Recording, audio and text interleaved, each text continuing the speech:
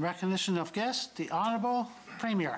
Thank you very much, uh, Mr. Speaker, and welcome back to my colleagues uh, for another day of debate on the legislature. Welcome to those who have joined us uh, in the uh, uh, public gallery. I think I recognize under the mask the father of our Minister of Finance, who's probably here to uh, see his, be proud of his son deliver what I think will be a very impressive capital budget today, so welcome to all. Uh, This morning, Mr. Speaker, like many in the legislature, I had the chance to meet with a uh, two uh, groups of bright young grade nine students who are participating in the Take Your Kid to Work today. Two of them are here, Olivia and Kennedy, uh, who were in uh, to uh, have a nice little Q and A uh, in the cabinet room with with with, with me, and uh, uh, we talked about the future potential careers there are for so many in the public service, and I tried to uh, explain to them that public service, as I said yesterday, is a is a higher calling. It's an important calling, and and needed more so than ever before. So, I think I can speak for all, and I'm sure many will speak. But I think our future is bright here, and I think we're in good hands. So so welcome to all. Um, uh, Mr. Speaker, last night I had a chance to meet with uh, Nancy Mannix uh, from the Palix Foundation.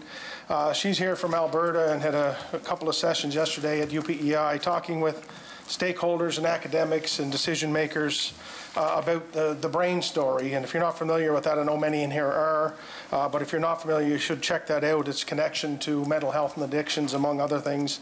Uh, it's, it's, it's, it's quite an amazing piece of uh, of, development, really, uh, through uh, Harvard University and Oxford University and so many others. And it's, uh, it's, it's really the future of ensuring that we're using science and data to make decisions and helping to inform public policy about the appropriate upstream investments that need to be made and supports for next generation. So I want to thank uh, Nancy for being here and for her interest in PEI.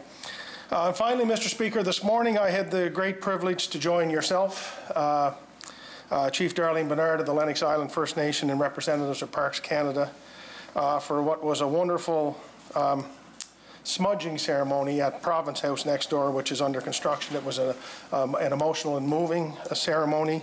Uh, afterwards, we had uh, what I would probably describe as a, as a pretty raw discussion about uh, uh, truth and reconciliation.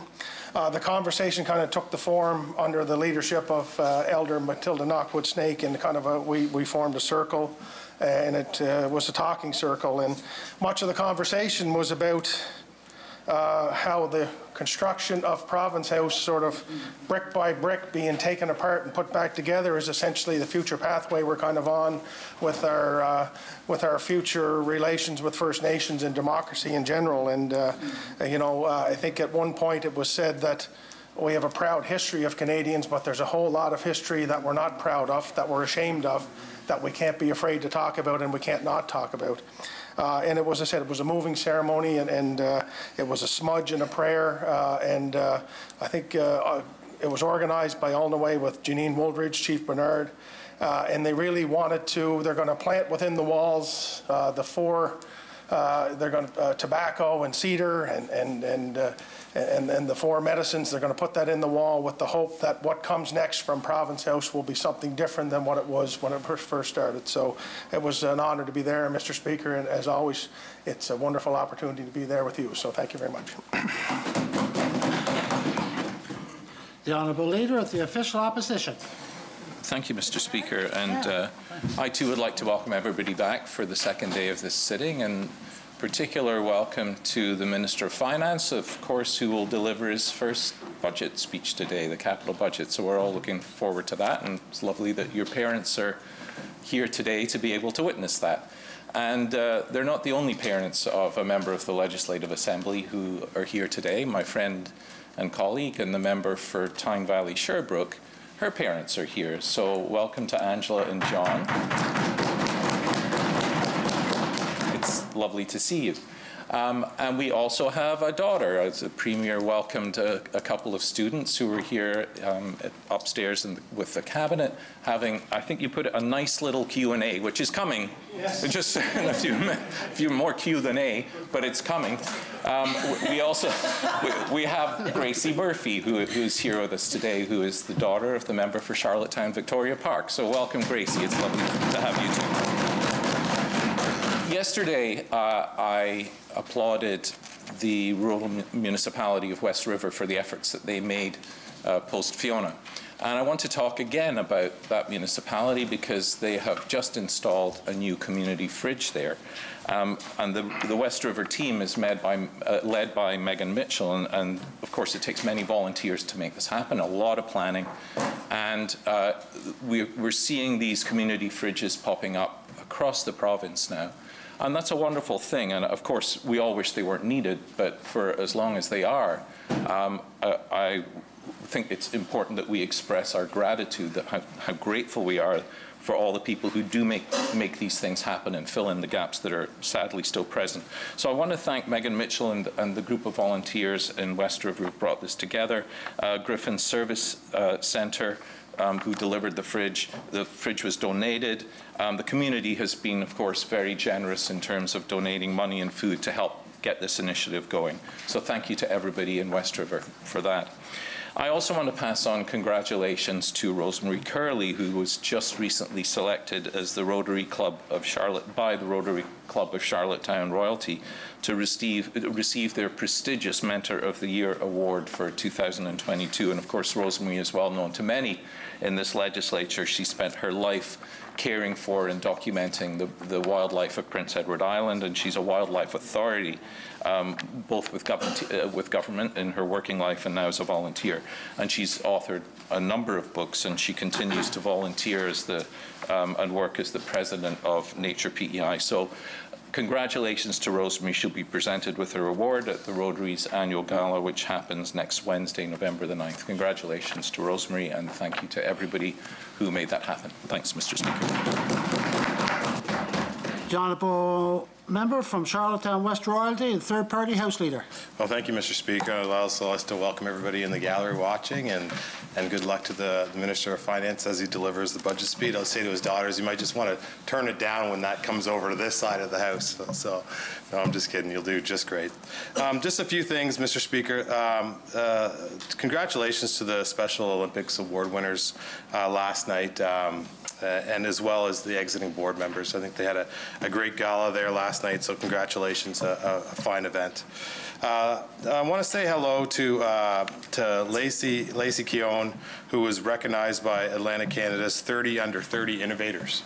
Um, this is a pretty special award. It's done by the Atlantic Business Magazine.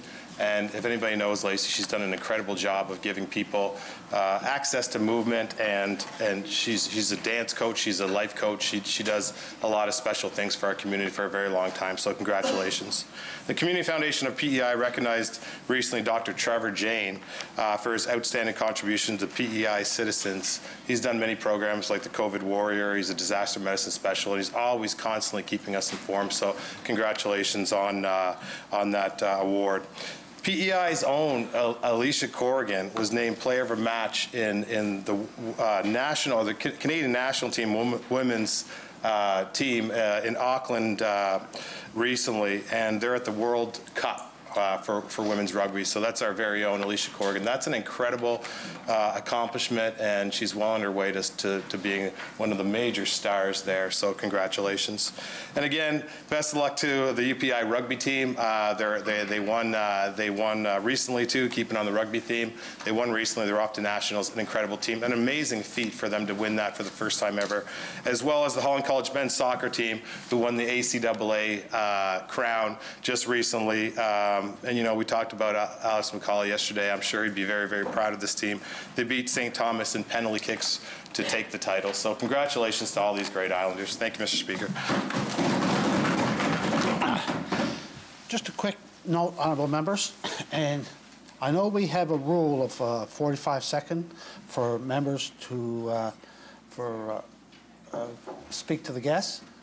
I'm going to waive that rule today, if the members don't mind.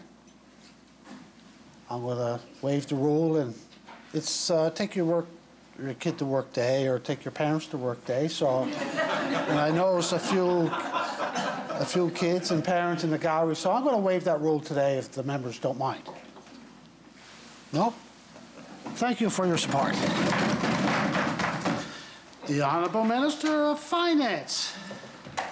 Thank you, Mr. Speaker. Stole my joke. Um, Obviously, I want to recognize that my dad and his wife Beryl are here today. I did try to convince my 14-year-old to come to Dad's work today, and she chose another, didn't even choose her mother's location. She chose a friend's location. So I told her I could get her up on the fifth floor maybe for a picture, but that- that didn't work. So I went to the new plan, take your dad to work plan today. So I do appreciate all the support that, I, that I've got from, from my family. Um, and he was one of my drivers during the campaign and uh, helped, helped certainly uh, get me to where I am today. So I appreciate it. Uh, I can also confirm that Fox Meadow Golf Course is closed for the season because he is here today. Thank you, Mr. Speaker.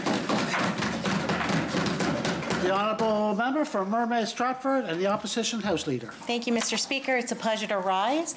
Um, Hello to everybody from Mermaid Stratford that's tuning in, and welcome to everybody that's in our gallery. It's always great to have people um, joining us, and I see Blake Doyle. Blake Doyle and I grew up in the same community just down the road from each other, so it's always nice to see you around.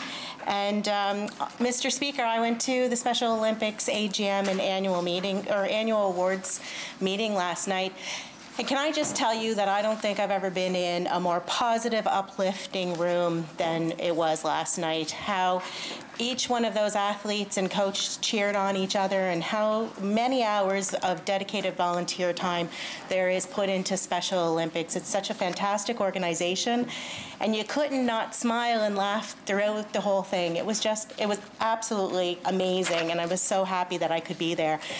And uh, there were two athletes of the year chosen yesterday, so just congratulations to Keegan Wade and to Janet Chartruck. We would know Janet because she was the one that joined the member from Tignish Palmer Road um, and defended legislation with him here last year. And I think we can all agree that she's a huge advocate for the rights of people with intellectual disabilities.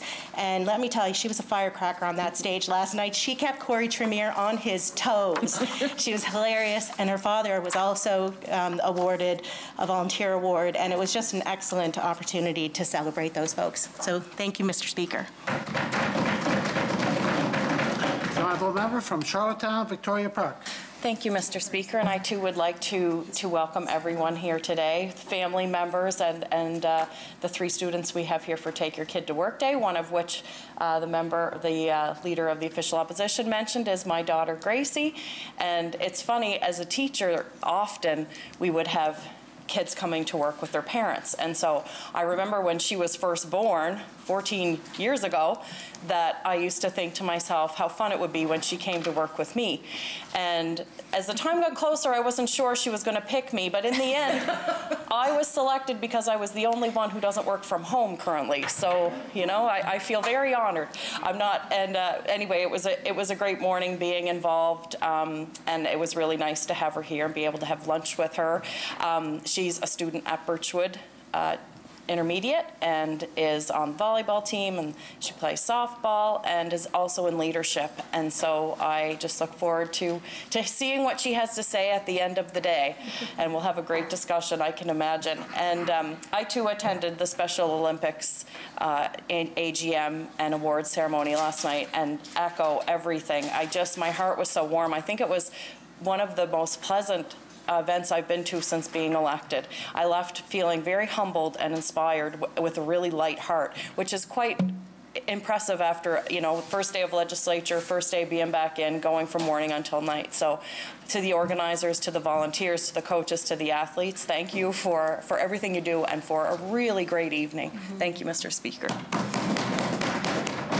The honourable member from Tyne Valley, Sherbrooke, and the opposition whip. Thank you, Mr. Speaker. It's a pleasure to rise today and to participate in Take Your Parents to Work Day. it's uh, uh, great to have my parents here. Uh, Angela Altass Binder and John Binder are here. Uh, I hope they enjoy the proceedings and they, I hope they uh, find this uh, quite interesting. Um, as well, I want to just say thanks to Gracie for joining us in our office today. It was lovely to have you there and, and I hope it wasn't too boring. Um, as well, I see Blake Doyle is here. Blake Doyle from the Summerside Chamber. So thank you, Blake, for joining us today. It's it's wonderful to see you, and uh, always uh, uh, wonderful to be able to meet with you and uh, to discuss uh, what your work with the chamber and uh, and what's happening in the Summerside business community. So thank you, Mr. Speaker. The honourable minister of social development and housing. Uh, Thank you, Mr. Speaker. It's certainly an honor to rise today and uh, welcome uh, everyone watching from home in Kensington, Malpeque. I uh, want to take this time, uh, Mr. Speaker, to to welcome two beautiful ladies to the legislature today. So we've got Olivia Arsenault, um, daughter of Brian and Tracy Arsenault, and my beautiful daughter, Kennedy. She's here with me today.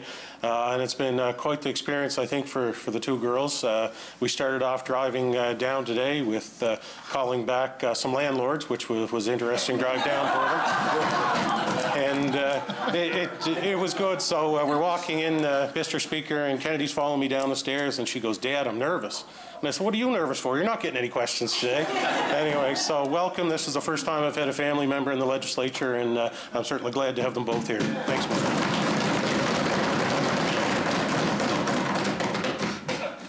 The honourable member from Morell, Donagh, and the Government House Leader. Thank you, uh, Mr. Speaker. Um, It is wonderful to have everybody in the gallery today. Uh, uh, Hello to everybody in uh, District 7, Morell-Donagh. Uh, My condolences. Uh, The Premier spoke uh, highly of Alex McCauley yesterday, so I just want to give my condolences to uh, to Lawrence and to to Jimmy and to Mary and Gloria and and the district. Um, We we are sorry for your loss. Um, I want to welcome the grade 9 uh, students that are they're here today, uh, Olivia and uh, uh, Gracie. Uh, Kennedy, uh, welcome as well. Your father is, is, you know, one of the, the finest MLAs that I've ever seen in this legislature, so you should be very proud. And he speaks way more highly of you than we could ever speak of him, so, you know, it- it's, it's quite wonderful.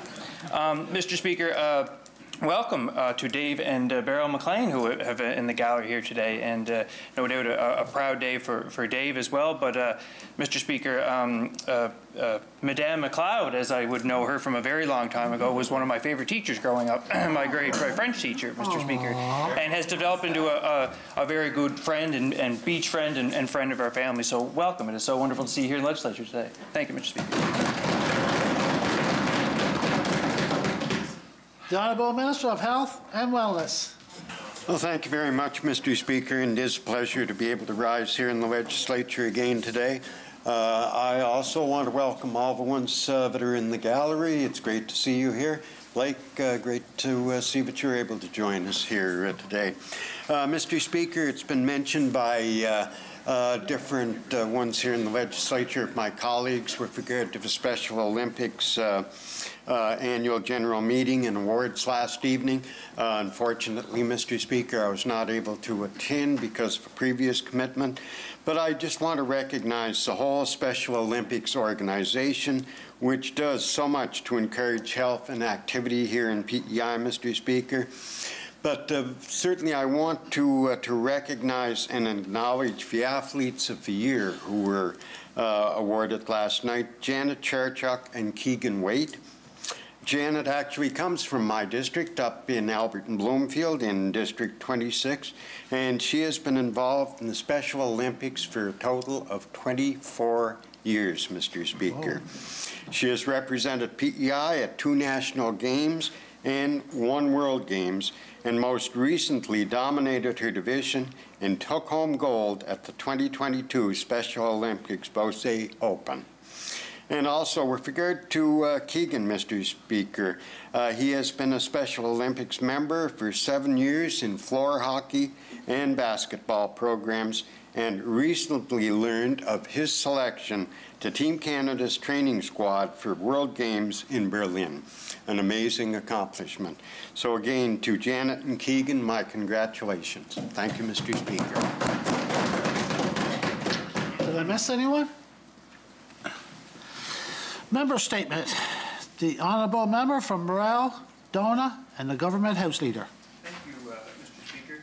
Mr. Speaker, we all know in this legislature the dedication and service we enjoy from our volunteer firefighters and first responders, and uh, that's no uh, uh, secret to you, Mr. Speaker, in your former history.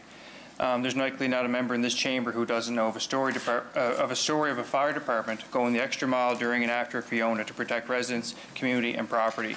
We all owe our volunteer firefighters and first responders a debt of gratitude for their brave efforts, Mr. Speaker. Uh, Mr. Speaker, with that in mind, I rise today to commend a constituent of mine, uh, one that the Assembly would be familiar with before, uh, Ann Morrison, who was a, a recent winner of the Senior Islander of the Year. And here she is at it again, Mr. Speaker. Anne recognized the selfless work of the volunteers at the fire department uh, and the volunteers that came into the fire department as a warming center during Fiona. Um, you know, regardless of the, of the damage of their own homes, uh, and they rallied to provide exceptional support. So Anne felt here's an opportunity to help back and maybe help fundraise a little bit for the fire department, just because of the good work of them, uh, their spouses, their family members that all come into the warming center at that time. So 10, 20 dollars at a time, Mr. Speaker. Uh, Anne uh, rallied the community, and she raised almost three thousand dollars in the matter of a couple weeks uh, just to go to the to the fire department, Mr. Speaker. It's an excellent example of how Islanders support each other in very difficult times in a small community. It's also an example of how simple acts of kindness and gratitude can go a long way sometimes, even without realizing at the time. Thank you, Mr. Speaker. The honourable member from Charlottetown West Royalty, third party House Leader.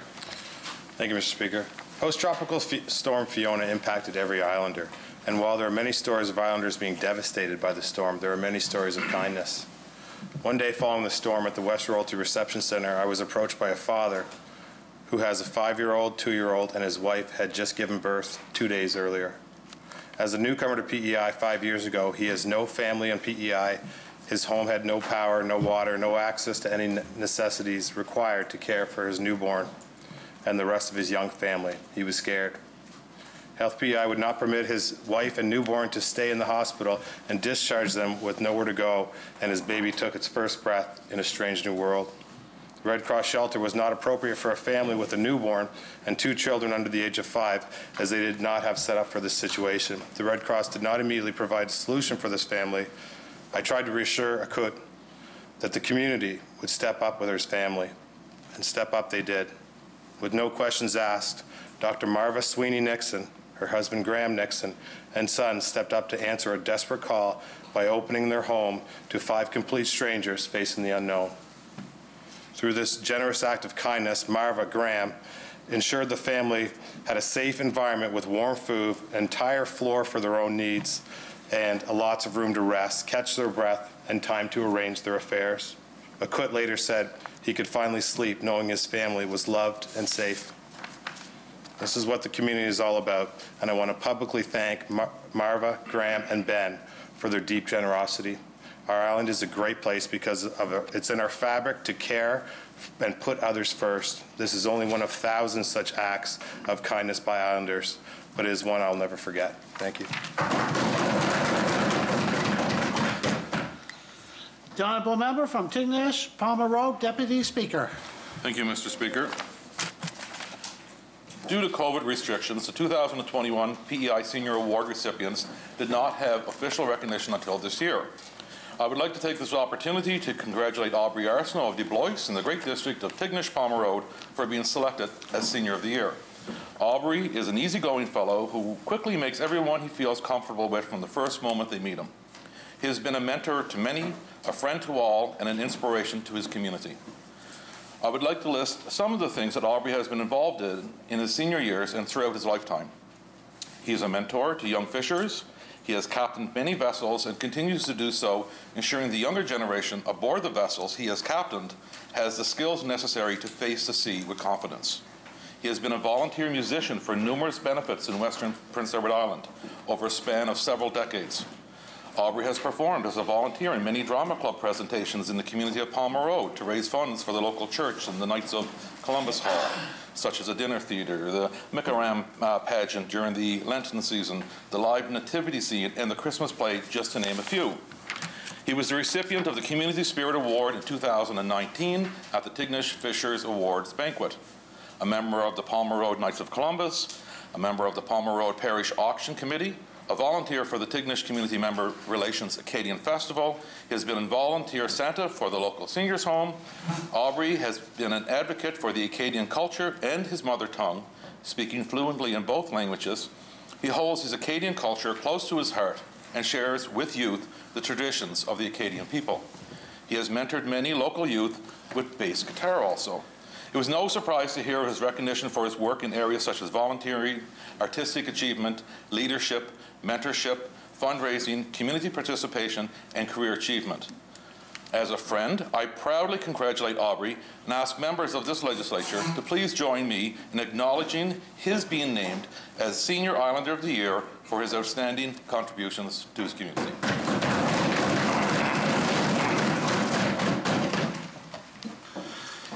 Okay. Questions by members, starting with response to questions taken as notice. No? For first question, I'll call an honorable leader of the official opposition. Thank you very much, Mr. Speaker. Yesterday, during debate on a government bill, the Minister of Social Development and Housing stated clearly that the housing crisis has been caused by government and that it is government's responsibility to fix it. Our caucus could not agree with that more. And over three years ago, we put forward a paper listing the emerging problems when it came to shelter and presenting a plan with a list of actions that needed to be acted, acted on immediately in order to stave off the crisis we now find ourselves in. A question to the Premier. Your administration has sat on its hands doing almost nothing while people suffered. Why didn't your government put in place measures over three years ago that would have turned the tide on this housing crisis that we now face on Prince Edward Island? The Honorable Premier. Well, Mr. Speaker, for three consecutive years, we have spent an incredible amount of money investing in housing, uh, knowing that there's a challenge, Mr. Speaker, with the growing population and the fact that the uh, investments hadn't been made leading up to uh, uh, really beginning 2015 uh, and, and, onward, and they continue. We continue to make these investments, Mr. Speaker. Uh, I think you'll hear later today that we'll make uh, the largest ever investment to try to set a goal to try to get to a point uh, where we can relieve some of the pressure within the system, Mr. Speaker. But it's a, it's been a challenging situation. We've inherited it. We've hit it head on. Uh, we've tackled it every single day, Mr. Speaker. I'm proud of the ministers who have served in the job previously. I'm proud of the minister who's there now. His heart's in the right place. We have a target. We're going to work and do everything we can to reach that target to make it better for Islanders, Mr. Speaker. Honourable Leader of the Official Opposition. Thanks, Mr. Speaker. Had government invested significantly in public housing over the last three years, or perhaps the lost three years is a better description, and brought forward regulations in a variety of areas, I believe firmly that the scrambling that this government is now doing to try and rectify this mess would not be necessary, and uh, we would have spared islanders so much suffering. Federal programs like the Rapid Housing Initiative, which covered up to 90% of costs and allowed other jurisdictions to buy up properties and quickly turn them into housing units, were all but ignored by this government. To the Premier, you were very happy to chase federal dollars for pavement. Why didn't your government have the same kind of excitement for housing dollars create, to create affordable housing at a time when it was absolutely clear that it was desperately needed here in our Honourable Premier. Well, Mr. Speaker, part of the job as Premier is to chase funds in all areas, Mr. Speaker, from Ottawa. I've done that. I think we have uh, probably have a, a, very wonderful relationship with the current government in Ottawa, Mr. Speaker. Uh, it's been pointed out in here many times by me, mostly, that uh, the federal government has put more money into Prince Edward Island in the last three years than they have any time in their history, Mr. Speaker. I think that's part of the relationship uh, that we built, Mr. Speaker. That includes housing, that includes rapid housing, that includes infrastructure, that includes all different programs, Mr. Speaker. The more we can bring into Prince Edward Island, the more we can do for Islanders, Mr. Speaker. We'll continue to do that. The Honourable Leader of the Official Opposition. Uh, thanks, Mr. Speaker. So the problems with existing legislation related to housing are abundantly clear. We're debating essentially an emergency bill on the floor of the House currently. And the Rental of Residential Properties Act dates back to 1988. For over three years, we've been waiting for a new and more modern act to replace this piece of legislation and fix the many issues that are contained within it, in including legislating a cap on rental increases. To the Premier, had this new act been in place, your government would not be scrambling as it is now and uh, by the way, always seems to be reacting to a crisis. How would tenants and our housing market uh, be better off today if you had indeed passed this legislation three years ago? The Honourable Premier. Well, Mr. Speaker, if our government and, and our province has been forced to react to crisis, Mr. Speaker, it's because we've been dealt with uh, very difficult situations. Hurricane Dorian, Mr. Speaker.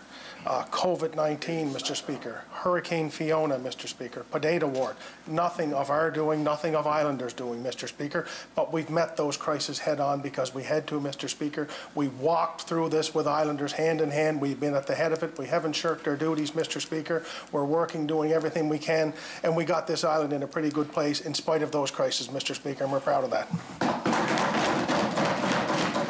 The Honourable Leader of the Official Opposition. Thank you, Mr. Speaker. And there's a critical difference between the crises that the Premier just described and the housing crisis and the healthcare crisis and the economic crisis that islanders are facing. And that is they were natural disasters of which you had no control, but this was a choice of your government, and that's what makes it so different. This is far from the first instance of a lack of planning or broken promises from this administration. Later today, of course, we're going to receive a capital budget, and all signs, yet again, are that we will see a big investment in, in public housing. Sorry, not a, yet again, for the, for the first time, we'll see a, a big investment in public housing at last. But promises are nothing more than good intentions, and of course, we've been down this road before many times with this administration. Do you remember shovels in the ground on day one, for example? The recurring pattern of this government has three components, an absence of vision, a failure to plan, and an inability to execute. We've seen it time and time again, whether it's in access to healthcare or in being proactive during this impending housing crisis or in stumbling when it comes to providing financial relief to islanders. To the Premier, why should islanders believe that your government will actually follow through this time on housing when history tells us that you likely won't? The Honourable Premier. Well, this, Mr. Speaker, let me present the other side of that. The Honourable Leader of the Opposition just said there hasn't been anything done in that regard uh, with legislation since 1988, Mr. Speaker. If I go through my history, that would take us from Ghiz Senior, Mr. Speaker, to Callbeck, to Binns, to Ghiz Junior, to MacLauchlan, and now to me, Mr. Speaker, and we're doing it. Thank you, Mr. Speaker. Summerside Wilmot. The Minister of Social Development and Housing tabled a bill to set aside a record high rent increase, and I sincerely thank the Minister for doing so. But this doesn't preclude every single one of those landlords from, from applying for an above the allowable increase through IRAC. And based on their previous order on this, it seems likely that they will approve those. A question to the Minister of Social Development and Housing. You essentially said yesterday that you know tenants can't afford it and have nowhere else to go. What advice do you have for them when the news cycle on this dies down, but those increases come anyway? The Honourable Minister of Social Development and Housing. Uh, thank you, Mr. Speaker. And obviously, yesterday we tabled that uh, uh, amendment to, towards the legislation to stop it at zero because we knew, uh, Mr. Speaker, that Islanders just couldn't afford it at this time. At the same time, I've been carrying uh, probably 15 to 20 calls in the last 12 hours from landlords and listening to their concerns. And this is where, Mr. Speaker, we really need to, to work with both. Uh, the RTA has, has, been has been a, a problem as well. That's uh, en route to, to come this sitting, Mr. Speaker. Speaker. We've been able to meet with the tenants and the landlords, and we're really hoping that everybody can work together and get through this. Thanks, Mr. Speaker. Mr. Speaker, I have to say you didn't, the minister did not answer my question on this.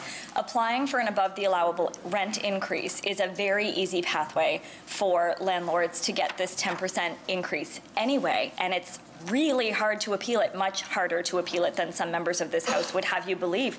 No part of this process is in plain language.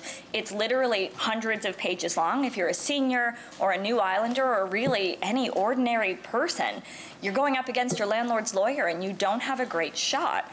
Connor Kelly from the PEI Fight for Affordable Housing has been a blessing to people as they've been navigating this system, but his term is finished and now there's no one to help you. A question to the Minister of Social Development and Housing. I'm afraid that these increases are still coming. So who should islanders turn to for help in filling out their forms, researching and planning their appeals, and for support during the hearing? The Honourable Minister of Social Development and Housing.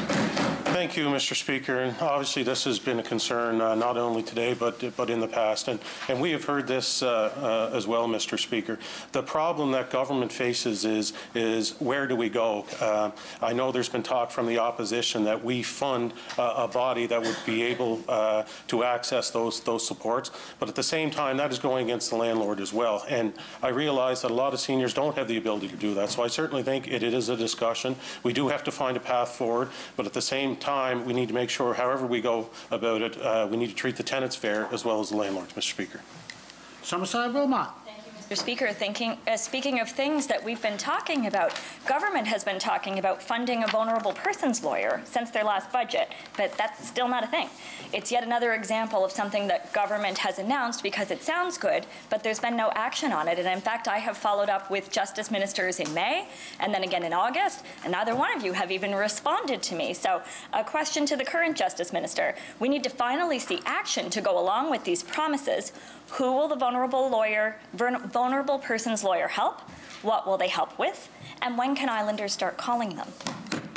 The Honourable Minister of Justice and Public Safety. Uh, Thank you very much, Mr. Speaker and honourable member. Uh, The vulnerable lawyer is something that we are working on. It will be, the job will be posted in December, and uh, part of the work that they will help with is uh, Canada Pension Plan entitlement, employment insurance, income assistance, landlord and tenancy matters, and restrictions of liberty matters. Thank you, Mr. Speaker. Tyne Valley Sherbrooke. COVID testing clinic in Slemon Park has been closed due to damage from Hurricane Fiona. This means that residents of PEI's second largest municipality, Summerside, have to drive at least 40 minutes to O'Leary to be tested. Question to the Minister of Health When will a COVID testing clinic be open in Summerside again, and where will it be located? The Honourable Minister of Health and Wellness. Uh, Thank you very much, Mr. Speaker. And yes, it is, uh, it uh, was another result of uh, the worst hurricane that this province has ever seen, Mr. Speaker. Uh, with regard to, uh, we are fortunate that we have two testing uh, clinics in the western part of the province, previously at Slemon Park and in O'Leary. Uh, certainly fortunate that that access is still open, Mr. Speaker. Uh, with regard to access for uh, testing in the Summerside area, I know that staff at CPHO are working hard to get this done and up and going as soon as possible, Mr. Speaker. Tyne Valley Sherbrooke. Mr. Speaker, we know that access to COVID testing is important for individual health, to prevent community spread, and for maintaining accurate public health data for which to make informed decisions. Minister, are you concerned that a lack of access to COVID testing in Summerside has impacted testing rates in the area? Minister of Health and Wellness.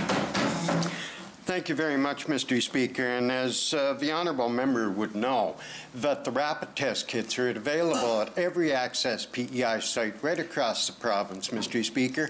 And I certainly encourage any islander who feels that they may have or does have symptoms of COVID that they do uh, make access and make utilization of a rapid test. Again, Mr. Speaker, if uh, as a result of a rapid test, that it does show that it's positive. We do have clinics. We do have clinics set up. Uh, individuals can call 811 for additional information, for example, Mr. Speaker. And again, I reiterate, it's unfortunate that every islander has been impacted by Fiona.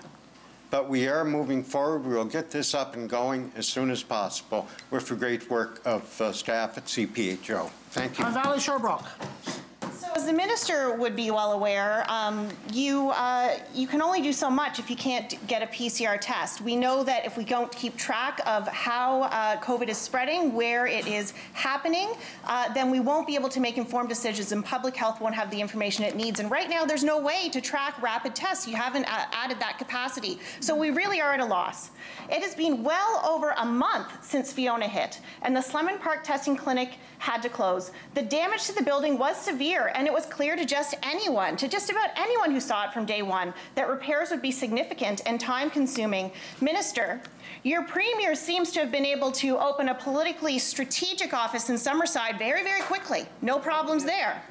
Why have you failed to open at least a temporary, a temporary COVID testing clinic in Summerside? Honourable Minister of Health and Wellness. Very much, Mr. Uh, Speaker. And with regard to uh, the Premier opening an office in Summerside, I give him accolades for that because he is con uh, concerned. He wants to give uh, people of Western PEI of Summerside an opportunity to have their voice and have their voice right here. Mr. Speaker, with regard to what uh, the honourable member has uh, stated, we do have the access to the clinic in O'Leary. It is, uh, it's open. It's open there continuously, Mr. Speaker. Mr. Speaker, the individual, the member speaks about data. We do collect data. It's unfortunate. You look at, uh, at the work that CPHO has done over the last two and a half years, and to call into question what they are doing at this point in time, I think it's, ir- it's irresponsible, Mr. Speaker. Thank you. Charlottetown, Victoria Park. Thank you, Mr. Speaker. Um, After Fiona hit, Charlottetown Mutual Aid started responding to requests to pop into public housing and check on residents. They found some in pretty bad shape. In fact, they told our standing committee they were worried they would find someone dead. They brought in blankets, food, hot meals, ice to keep medication cool, made phone calls for residents, etc. Question to the Minister for Social Development and Housing. What do you think would have happened to these islanders at, in public housing if community had not have stepped in? The Honorable Minister of Social Development and Housing. Thank you, Mr. Speaker, and uh, I'd be uh, the first to rise and thank Charlottetown Mutual Aid and, and uh, everyone at PEI that come together in, in a time of need and, and help everybody out. Uh, It was truly rewarding to, to see, Mr. Speaker, and uh, I know that there, there was lots of issues. Uh, We've all had the calls, we've seen them. Um, now is to work through them, Mr. Speaker. It's to take the issues that were uncovered, to find out where the problems are, and to make sure that we're prepared uh, the next time this does happen, because it will happen. So uh, once again, Mr. Speaker, thanks uh, to all Islanders who helped, and uh, Charlottetown Mutual Aid, thank you. Charlottetown, Victoria Park. Mr. Speaker, and I'm assuming that meet- means that you'll be meeting with Charlottetown Mutual Aid to hear their experience. A few days after Fiona again, frost warnings were issued in Charlottetown. Temperatures dipped to below zero overnight. This was especially concerning for unhoused islanders who would have to brave the weather outdoors. Thankfully, Charlottetown Mutual Aid was able to deliver thousands of dollars worth of supplies to unhoused islanders, including warm jackets, pants, hand warmers, blankets, and more. Question to the minister. What do you think would have happened to this community had the, in the absence, had the community not stepped in in the absence of government? Honorable Minister of Social Development and Housing. Thank you, Mr. Speaker, and, and once again, uh, we know the hard work of Islanders got everybody uh, through Fiona, Mr. Speaker. Uh, like I mentioned yesterday, that uh, I will be taking a log of uh, everything that we had done as well, Mr. Speaker, and we're, we're just retracting some of the, the names and personal information on there, Mr. Speaker. But what I can say is, is we know what took place. We know that we need to improve the system behind it. I'm not questioning any of that, Mr. Speaker. What got us through Fiona was the hard work of all Islanders coming together, and I'm very grateful to have had that happen. Uh, So like I say, we will certainly be sitting down. We'll see where we need to improve. We know we need to improve on some of these issues, Mr. Speaker, and we will. Charlottetown, Victoria Park. Mr. Speaker, and I'm very grateful for the community too, because I honestly believe that they saved lives on this island. Constantly told that government has case management, has a case management plan for unhoused islanders. A few weeks ago, unhoused residents at the Charlottetown Events Grounds had numerous possessions seized by municipal officials without any apparent lawful basis for the seizure. The event grounds are managed by CADC, and who is their primary shareholder? The province. Question to the minister. If the province is not ready to house these individuals yet, what is it doing to make sure these islanders have access to heat and electricity at the event grounds until the housing units are ready?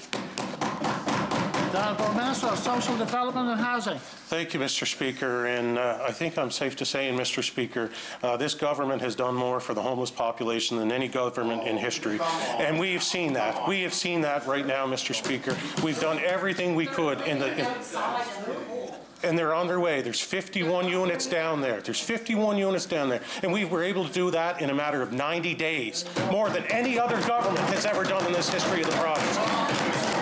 So now, Minister has Mr. Speaker.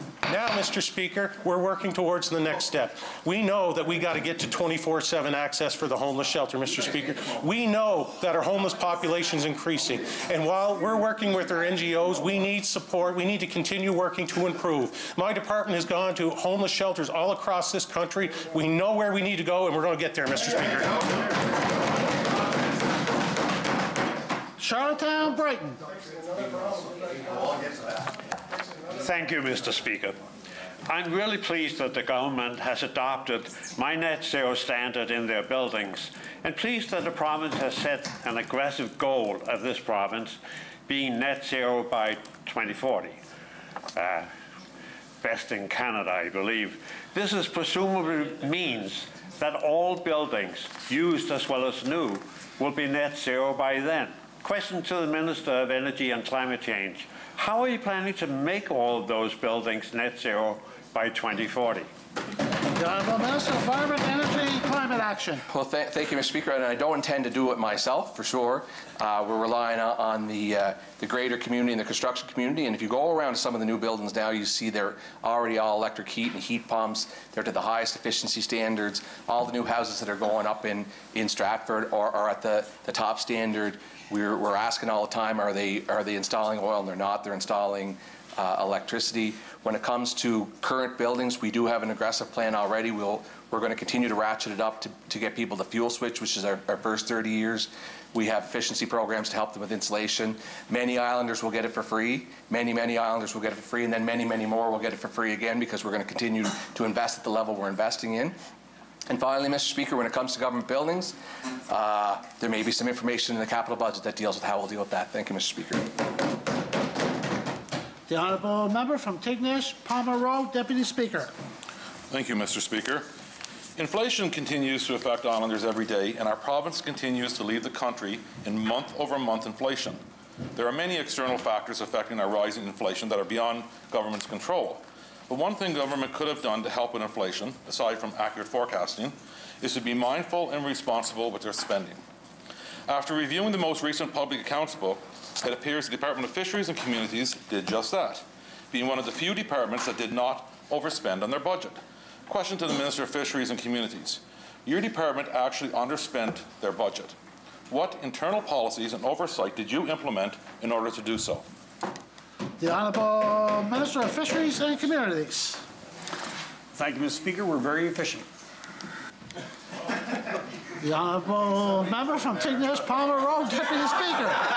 Also, short on words, yeah. So, so upon further review of the updated public accounts, I was surprised to see that the Department of Fisheries and Communities received and spent the least amount of money than any, than any other department, excluding Executive Council, out of the COVID contingency fund.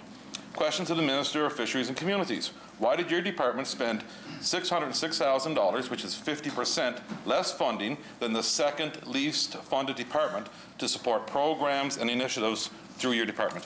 The Honourable Minister of Fisheries and Communities. Well, thank you, Mr. Speaker. Mr. Speaker, our department through community side is mostly client-driven. So the intake actually from clients requesting assistance or program funding was actually down compared to other, other periods. And that's one thing about our department. We can do that. We adapt our department and our role with our programs as required by the clients and what they need. So when the client asks for something, we adapt to that. We provide the response to them.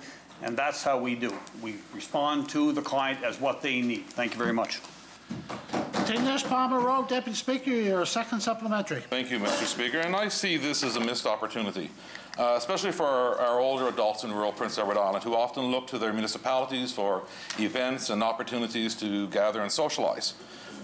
Something um, that many were deprived of for three years and were eager but anxious to get back into a safe manner and I'm sure municipalities surely asked. Question to the Minister. Municipalities could have created or expanded programs um, like these with funding from your department. Did you even try to advocate to your cabinet who makes the decisions for supports like this? The Honourable Minister of Fisheries and Communities. Well, thank you, Mr. Speaker. Our department has been very aggressive in the last three years to make sure that every community, every municipality, every nonprofit group, every group out there possibly could know about our programs. We have never turned down an application by a municipality for funding through my department since we've been in power as this administration. O'Leary Inverness. Thanks, Mr. Speaker. Uh, Mr. Speaker, last night on CBC, our big city health guru was expounding the great improvements of get that in healthcare, like getting dandruff and mild acne treatment uh, prescription at your local pharmacy. And he says that will make healthcare better. And I'll agree, I think we do need to expand our scope of practice of our pharmacists, Mr. Speaker. But uh, we, when it comes to the real serious issues in healthcare, like issues that, uh, you know, doctor and RN shortages, ER wait times, or long-term care bed utilization, we have to wait for that, Mr. Speaker. So a question I always ask to the Minister of Health every year, uh, Minister, Today on PEI, how many publicly funded long-term care designated beds are sitting empty? The Honorable Minister of Health and Wellness. Uh, Thank you very much, Mr. Speaker, and thank the member for the question. Of last information that I had, Mr. Speaker, which would be very recently, the end of last week, 60. O'Leary Inverness. Well, that's good. As I do know that there was 32 in the West or Summerside West, Mr. Speaker. The backlog of people waiting for long-term care beds has a negative systematic impacts ranging on our emergency department, overcrowding, ambulance response times, acute care availability, and even surgical procedures, Mr. Speaker. Question to the Minister of Health. How many patients are awaiting long-term care in acute care beds currently on PEI? The Honorable Minister of Health and Wellness. Mr. Speaker, that, uh, and I do thank uh, the member for the question, and uh, it's great to uh, see his uh, concern with regard to the health care system on the island. It's unfortunate that uh, that same concern wasn't shown a few years ago, but I do appreciate it. He's showing it now. Mr. Speaker, that number would vary from day to day, to be honest with you.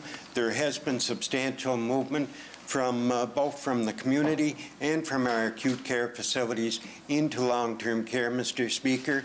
Uh, I had indicated the number 60.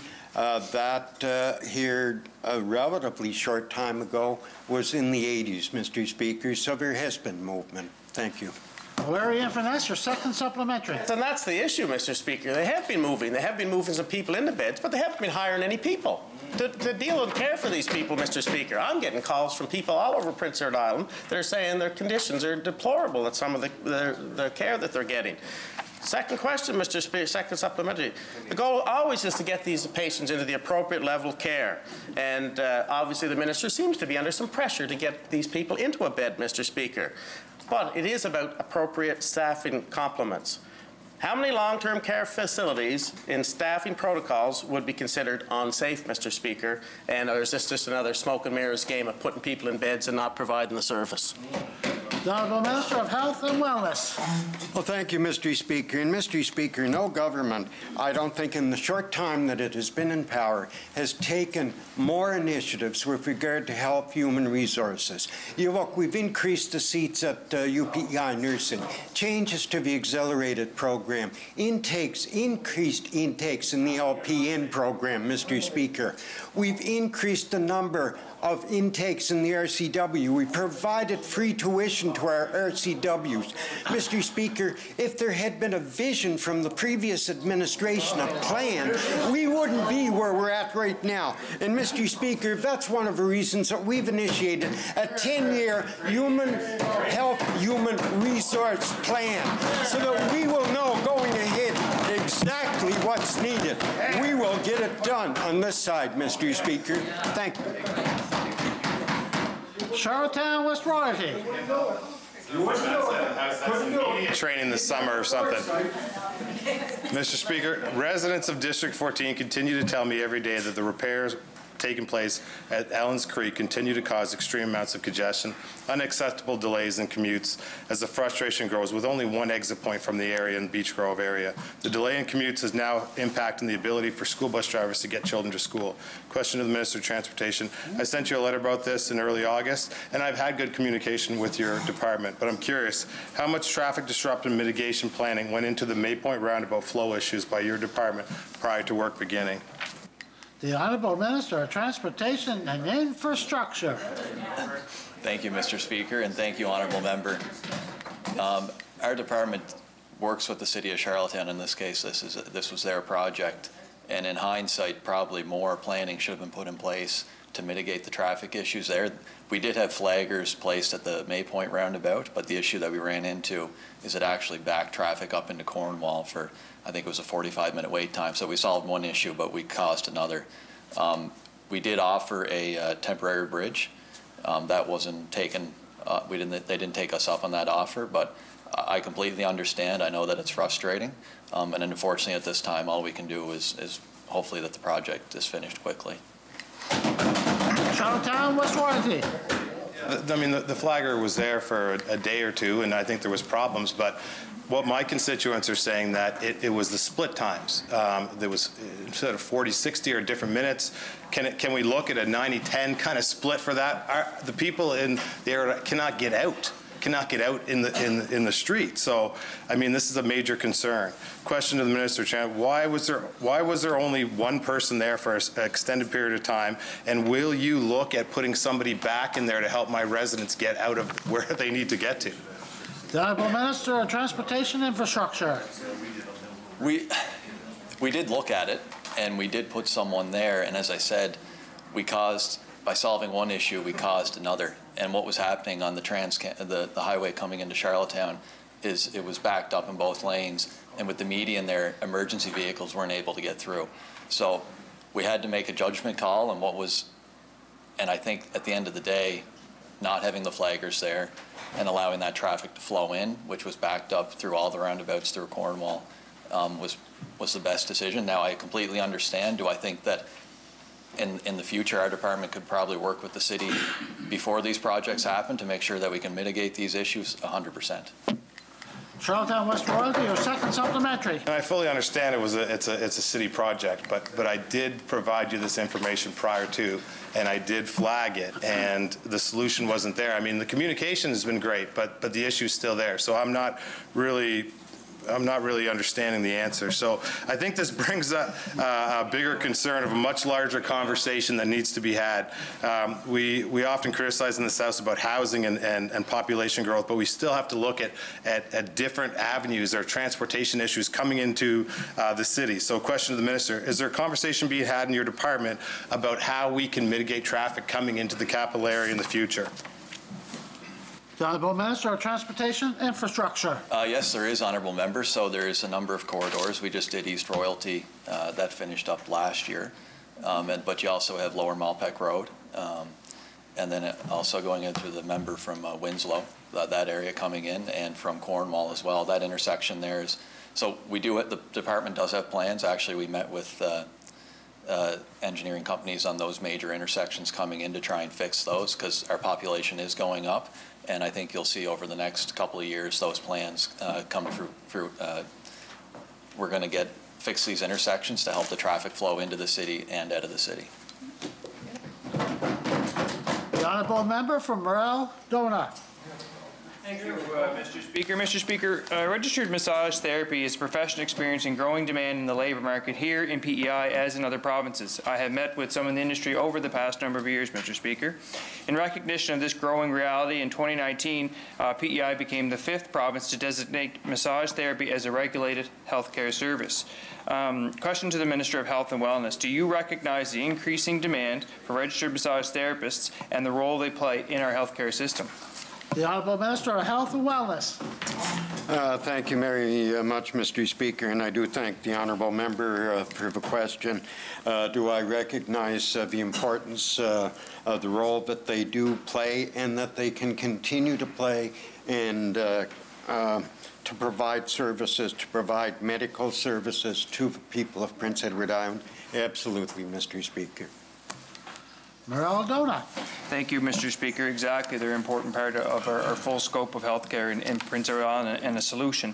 Uh, I understand the current ratio of RMTs uh, per capita in PEI is 1 to 2,700, while in New Brunswick it sits at 1 to 890 and 1 to 700 in Nova Scotia. Currently, PEI is the only Canadian province without a massage therapy program. Uh, question to the minister. I know uh, some of the private owners have explored the development of an in-province massage therapy program with our post-secondary partners here in PEI. Is this something the government is willing to help with? The Honourable Minister of Health and Wellness. Uh, Thank you very much, Mr. Speaker, and again, uh, thank uh, the member for the question. As recently as, uh, as uh, a letter dated October 17th, I was reached out to by a massage therapy clinic, giving the background, giving uh, uh, basically the information, the statistics that the honourable member has brought forward.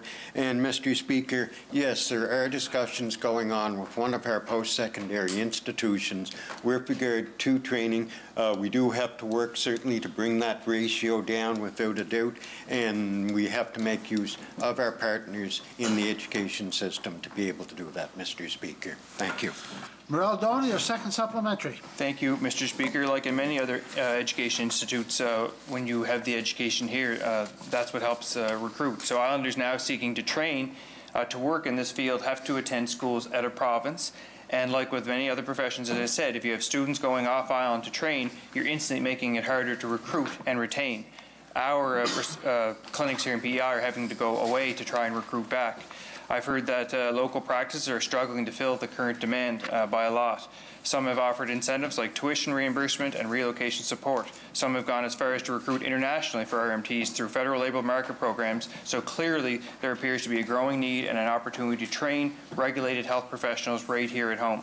Uh, final question to the Minister of Health and Wellness. What can the province do to assist or encourage the creation of a massage therapy program on PEI through uh, post-secondary partners or as an industry-led private school? The Honourable Minister of Health and Wellness. Uh, Thank you very much, Mr. Speaker, and the honourable member does raise an extremely valid point with regard if we do provide training here in the province of Prince Edward Island, that the likelihood of those individuals taking the course of a program, the likelihood of them remaining here in the province is much greater. Certainly, that's one of the reasons that we have uh, increased the number of paramedicine seats at UPEI that are designated for Islanders, Mr. Speaker. But back uh, to uh, the member's question, absolutely, I will, we will work with our educational partners, with uh, the industry, with massage therapists, to make sure that we can get a program in place that works for Islanders and works for those that are taking the programming. Thank you, Mr. Speaker. Mermaid Stratford. Thank you, Mr. Speaker. In the past couple of months, we've heard some positive um, announcements regarding the healthcare system, such as the new patient transfer units for, to free up ambulances and the primary access care clinics for islanders that do not have family physicians to access care. In an interview with CBC last night, the CEO of Health PEI stated that the healthcare system will start to feel different in a very positive way. And that's a big statement. So, question to the Minister of Health and Wellness. How will you determine the tax, that the taxpayer dollars spent on these programs are having the intended impact? The Honourable Minister of Health and Wellness. Well, thank you very much, Mr. Speaker, and that is an extremely uh, broad question, but I do uh, appreciate uh, the member posing it. Uh, when you say, how do you anticipate or how do you uh, uh, determine if a dollar is being spent or having a positive impact. You look at dollars that are spent, for example, Mr. Speaker, with regard to training. You look at dollars that are spent with regard to uh, uh, items that will be brought forward later this afternoon in the capital budget. It is very broad. But having said that, Mr. Speaker, our government has and will continue to invest heavily in health care. We have to be uh, nimble. We have to make changes, absolutely. But there are some very positive things happening. Thank you, Mr. Speaker. Mermaid Stratford. Mr. Speaker, and I have to say I'm so disappointed with that answer because it was actually a really one good one for you to answer because then you would define what you are going to measure because what outcomes are- are you expecting from this program? You define the outcomes and then you set the measurements that you're going to track in order to decide whether you're hitting your intended outcomes. This is just an example of a province of, of government that doesn't know how to plan anything and let alone plan, you don't know how to track it. Question to the minister, how are you holding Health PEI accountable to ensure that the changes can be backed up by actual facts and data if you're not even setting potential outcomes of a program? Honourable Minister of Health and Wellness. Well, Mr. Speaker, uh, thank you uh, very much for the opportunity to be able to uh, respond to that. You look at the initiatives that we have undertaken, and it's not about figures, Mr. Speaker. It's about islanders. It's about Yes, it is about islanders, Mr. Speaker, and providing the services that they need. It's, uh, yes, we have to have data, we have to track, without a doubt. I agree with that, Mr. Speaker. But yes, you look at some of the initiatives that I had stated earlier this afternoon that we have put in place, will continue to put in place, continue to invest in, to provide services for Islanders in an overall healthcare, health, human resource crisis that we see right across the country, Mr. Speaker. But we will continue to do the best that we can for Islanders each and every day. Thank you. Mermaid Stratford. Thank you, Mr. Speaker. So this is the crux of the problem with our healthcare system because, you know, an outcome. How many Islanders have you helped with this program? That would be an outcome. In order to determine the outcome, you would define what you're going to track in order to know have you reached what your potential outcome was. The minister's feelings are not facts here and like this is so uh, this is so concerning because the minister feels like if you put a program in place it's just going to work but it's not if you don't set the system behind you under this government and its lack of planning, we've seen the patient registry balloon. We've seen ER wait times exceeding what every national standard would be. And we see people with mental health crises spending way too much time in the ERs. Question to the Premier. Yesterday you were talking all about facts. Where are the facts and the proof that you haven't just played a huge part in uh, that you haven't just played a huge part in crippling our healthcare system by not tracking or producing any outcomes. Honourable Premier. Well, Mr. Speaker, in the almost two weeks or so since we introduced the Pharmacy Plus program, Mr. Speaker, we've helped about 25,000 Islanders, Mr. Speaker. I think those facts speak for themselves. Summerside South Drive, final question. Thank you, Mr. Speaker. During budget debates, when our open and transparent Premier told me that a citizens' assembly was going to be funded within the existing budget, he must have been forecasting the major surplus we see now. Surely it wasn't just a story told to placate those who want to see our democratic system improved. Surely the Premier isn't having second guesses now that the flawed first past the post system may help him politically. Surely not. Question to the Premier. Will you be honoring the vote of this legislature as well as keeping your word by striking a citizens' assembly for proportional representation before the next election? The Honourable Premier. Mr. Speaker, like the member from Summerside South Drive, who was also elected under this flawed system, Mr. Speaker, uh, I think that, uh, as I've said many times, when you look around this legislature, I think we've got a pretty good mix, Mr. Speaker, elected by the people of Prince Edward Island who pay attention, Mr. Speaker, who understand good representation, Mr. Speaker, and who want to see themselves reflected inside the legislature, Mr. Speaker. Uh, I think that the Islanders do a pretty good job of this. Uh, I take everything that, uh, that takes place in this legislature very, very seriously, Mr. Speaker. But I suppose in my defense, Mr. Speaker, we've been dealing with a lot of heavy stuff here the last number of months, Mr. Speaker.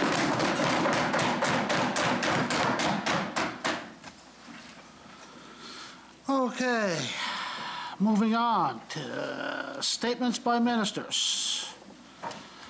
Presenting and receiving petitions. Tabling of documents.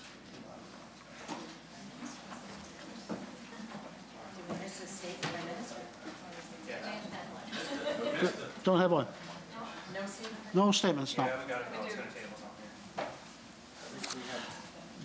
Table of documents? No? Yeah. The Honorable Premier. Uh, Mr. Speaker, uh, I present here with a message from His Honour, the Honourable James Gormley, Administrator for the Province of Prince Edward Island, which said message is signed by the Administrator. Honorable members, I'll ask the clerk to read the message, and I'll ask everyone to stand while he reads his message. Dear Mr. Speaker, His Honor, the Honorable James Gormley, Administrator of the Province of Prince Edward Island, hereby transmits the estimates of capital revenue and capital expenditure required to carry on the public services of the province for the fiscal year ending March 31st, 2024, and also until the passage of the capital estimates for the fiscal year ending March 31st, 2025. In accordance with the provisions of the Constitution Act 1867 and the Prince Edward Island Terms of Union 1873, His Honor recommends the same to the Legislative Assembly. The Honorable Premier. Uh, Mr. Speaker, by command of His Honour, I present herewith the estimates of capital revenue and capital expenditure required to carry on the public services of the province for the fiscal year ending 31st March 2024, and also until the passage of the capital estimates for the fiscal year March 23rd, 2025. I move, seconded by the Honourable Minister of Finance, that the estimates be now received and do lie on the table. I carry? The Honorable Premier. Uh, Mr. Speaker, I move, seconded by the Honourable Minister of Finance, that consideration of the estimates of capital revenue and capital expenditure in Committee of the Whole House be added to the orders of the day until such time as they are dispatched. Shall it carry? Carry. The Honorable Minister of Finance. Good afternoon. Bonjour, Quay. Mr. Speaker, I'm pleased to share the planned capital spending by the Government of Prince Edward Island for the 2023-2024 budgetary year. This Assembly hears about the capital budget every year, but as Minister of Finance, this is my first time introducing a capital budget. In fact, it's been just over 100 days since I assumed this role. And Mr. Speaker, it's been a busy 100 days to say the least. It is a lot of responsibility, but it's also an opportunity to help shape our province's future. C'est une grande responsabilité, mais c'est aussi une opportunité de façonner l'avenir de la province. I would like to thank Minister Compton for her time in this role. Her guidance and support over the last three months has been appreciated. I would also like to thank the team in the Department of Finance that assisted me through this transition, and a spe special thank you to my caucus colleagues for their support. The last few weeks have been challenging for our province. Hurricane Fiona was a direct hit to our province's infrastructure, our economy, our communities, and our people. And we should not be surprised at this. Climate change is real and is impacting our province now. It is bringing more extreme weather to our shores. It's changing our seasons and our coastlines. It is undeniable. Hurricane Fiona was the largest storm in this country's history. It was the first time since the invention of electricity that any province has completely lost power like we did from tip to tip. It had an unprecedented impact on our people, our landscape, and our environment. The cost of this storm for our province alone is closing in on a half a billion dollars. Never before has any natural disaster even come close to this price tag in PEI's history. This province and this government has faced a lot in the last three and a half years. Hurricane Dorian, rail blockades, mal malware attacks, Joey. and an abrupt halt to the export of our world-class potatoes. Islanders are also facing the largest cost of living increases in over 40 years and the immeasurable toll of the COVID-19 pandemic. It would be easy to feel defeated, and if you're feeling that way, that's okay. We have all felt that at one point or another over the last few years. But as we take the toll of our losses, we know the time has come to dust ourselves off and continue to move forward. Mr. Speaker, as a government, we will say yes to the challenge of fixing what has been lost and broken. We will say yes to rebuilding our infrastructure, our education system, and our healthcare facilities. We will say yes to tackling our housing crisis. We will say yes to ensuring our economy helps thrive in unpredictable times. And we will say yes to learning from past responses so we can do better in the future. Take climate change, for example. Just recently, the Minister of Environment, Energy and Climate Action released the province's first cl climate adaptation plan. Adaptation refers to the actions we implement now to respond to the impacts of climate change that are already happening. The problem is global, it's devastating, and it's far-reaching. But we say yes to protecting our island communities from the impacts of climate change. We don't shy away, we don't run and hide, we roll up our sleeves and get to work. And Mr. Speaker, when it comes to this budget, this is exactly what we're going to do. This isn't a time to shrug our shoulders. This is a time for bold and decisive leadership. And Mr. Speaker, the budget I present to this House today is both bold and decisive.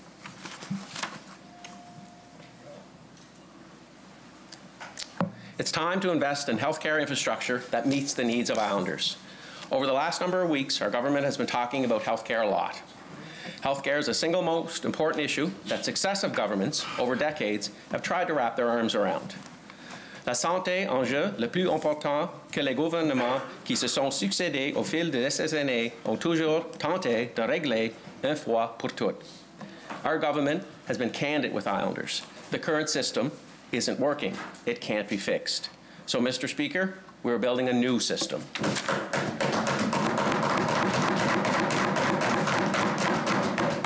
A system that focuses on who we have and not who we hope to get a system that focuses on collaboration and using our professionals to the full scope of their practice, a system that puts the focus on the patient. These changes, changes aren't easy. It's an evolution, not a revolution. But we are committed to making the innovative changes that so desperately needed in order to provide better access to care across the province. We know that infrastructure and technology will be necessary to make the new system, system successful. We continue to build medical homes and medical neighborhoods to improve access to care. This budget has an investment of $58 million for primary care infrastructure across the province. This includes $3 million to finish the new Alberton Community Health Center, 22 million for the new Summerside Community Health Center, and 9 million for the East Community Health Center. There is also 21 million for the new Queens County Health Center which will be co-located with the mental health campus, and $3 million to complete leasehold improvements for the Community Health Center at the Mount. These centers will bring together allied health professionals to pro provide wraparound services to Islanders by working together collaboratively under one roof. The new mental health campus is one of the largest capital investments in our province's history, second only to the construction of the Confederation Bridge in the 90s. Since last fall, we have seen the new Lacey House and our structured housing open. Construction is underway for the new Emergency Department short stay unit, and we continue to push forward on the next steps of this project. There will be 174.4 million invested over five years in our mental health campus, including social safety housing, day programs, as well as mental health and addictions, acute care hospital, and more.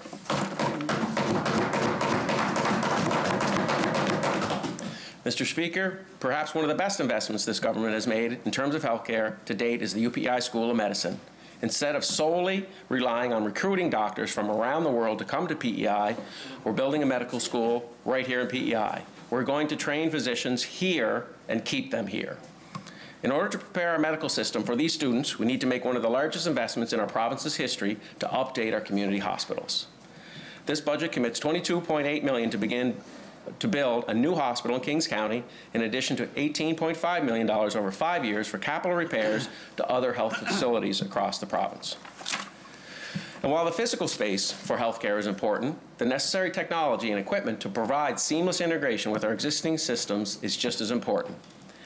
This budget includes $11 million over five years to invest in our hospital information systems, mental health and addiction electronic medical records, and expand access of the EMR to community pharmacies to support the new Pharmacy Plus PEI program. This is the largest investment ever made in health infrastructure in our province's history, and it's what's needed to transform our health care to ensure that it's reliable and accessible for all Islanders now and into the future. Mr. Speaker, our government is committed to a forward-thinking education system Hurricane Fiona didn't spare our schools. Some were hit harder than others, and we know our schools are important places for our children to learn, to grow, and to gain skills that will shape them for the future. Mr. Speaker, we aren't shying away from making the investments that are needed in our schools. What we are saying is yes to preparing our island youth to rise to the challenges they will face in the future. This budget includes the largest investment in our province's history, 128 million, for no new builds, expansions, and capital improvements. That includes 24 million for the first net zero school in Atlantic Canada, Sherwood Elementary. That, that also includes 52 million for a new high school in Stratford. Cela comprend 41 millions de dollars pour une nouvelle école à Evangeline. Cela comprend 12 millions de dollars pour l'agrandissement de l'école François. And Mr. Speaker, we ain't, we're not delaying on any of these projects. The work on these schools starts today. There will be 20 million over five years in major school repairs at a variety of schools across the island, and an additional 14 million specifically for Georgetown, Eliot River, Montague Consolidated, Consolidated, along with ventilation upgrades at our remaining island schools. This is a $9 million increase over capital repairs budget of last year to assist schools in addressing the need for improved efficiency in our school infrastructure. To continue our work towards being the first province to be net zero, we have allocated 51.3 million over five years for school buses, an inc increase of 10.9 million over last year. the largest investment to date to speed up the transition of our school bus fleet to zero-emission vehicles. This equates to 125 new electric school buses and charging infrastructure, with each electric bus saving nearly 18 tons of CO2.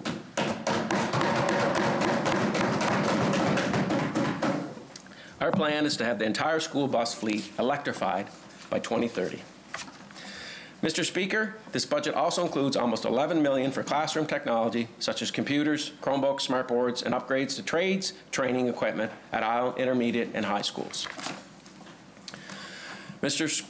Speaker, we are taking bold action to fix the housing crisis. The shortage of housing in this province is a real issue. We continue to hear this loud and clear from communities large and small, rural and urban. As a government, we're committed to solving this problem once and for all. Since 2019, our government has made record investments in housing through growing our inventory of public housing, but also with partnering with private developers. The Minister of Social Development and Housing has a plan. That plan is comprehensive, well thought out, and will get us back to a healthy vacancy rate of 4%. Government must lead this work, and Islanders deserve results. The first step in increasing our investment is in growing our inventory of public housing. We will do this by using a multi-pronged approach with new builds, modular units, and purchasing new and existing inventory. With 150.9 million over five years, our plan builds on existing commitments that include 100 new units in the fall 2021 budget and adds 365 new publicly owned social and affordable units. Bringing our total to more than 450 units in this new five, five-year plan. Wow. This includes 140 units on Malpeque Road, 60 units in Hillsborough Park, 30 units in Montague, 31 units in Summerside, 150 modular and purchase units across the province in rural communities, and the work on these units starts today. Yeah. Hmm. We will also work with partners such as the Construction Association of PEI and the Industrial Arts Program at Public Schools Branch to provide 34 small homes to communities across the province. Yeah. At the same time, Mr. Speaker, we know our existing inventory needs investment as well. That's why we are committing $20 million over five years on renovations, greening, retrofitting, and ensuring every senior's unit has backup generator emergency power.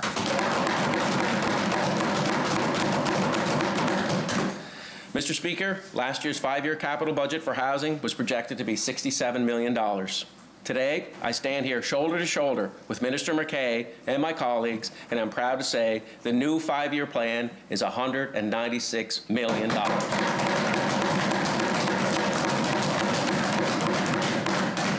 Mr. Speaker, that's almost triple the plan from last year. We aren't shying away. We're going to tackle the housing crisis head on. Mr. Speaker, we are also growing our public infrastructure. To keep our communities connected and keep the traveling public safe, we are investing over 240 million over five years in highways, highways, paving, and bridges. We continue to invest in sustainable transportation with 3.5 million in public electric vehicle charging stations over two years and 5.5 million in active transportation trails. To help reach our goal of protecting 7% of our land, we are also allocating 1.8 million over five years to purchase land that will support the conservation of natural habitat. Through our investment in buffer zone protection, we are committing 2.5 million to protect our watercourses. Mr. Speaker, we are also investing 10 million over five years in the protection of our shoreline and coastal roads and bridges. We are investing 30 million in provincial buildings over five years. Included in this amount is 10 million in new funding to support greening and retrofitting public buildings, including on schools, with a goal of reducing GHG emissions to help us meet our net zero goals. From public safety to our justice system, we are making investments to increase the safety of our province.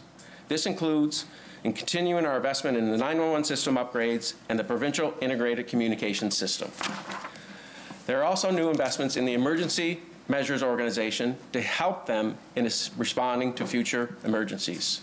We will also invest in government emergency preparedness with 7.5 million over three years to place generators at key infrastructure sites like Access PEI, Justice facilities, and for our electric school bus fleet, while also addressing other needs identified following Hurricane Fiona. We also have a responsibility to ensure that those in the correction system are being treated fairly and they are housed safely. This includes continued improvements to the Provincial Correctional Centre as well as new investments in security and ventilation upgrades. Additionally, in response to community groups and stakeholders, we have committed $3 million to develop a site where vulnerable islanders can access all the services they need, including shelter, day programming, counseling, therapy, and other services identified and needed by these individuals and the community organizations that work with them on a daily basis. Mr. Speaker, in conclusion, this is a record high capital budget for our province. For the first time in our history, this five-year plan will exceed $1 billion.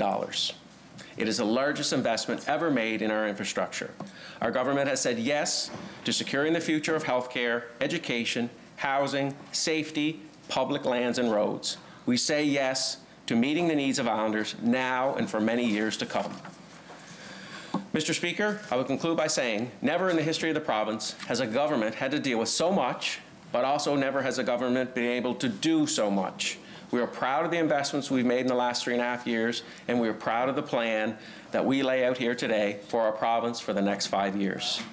I look forward to the debate on this capital budget with my legislative colleagues. Thank you. Merci.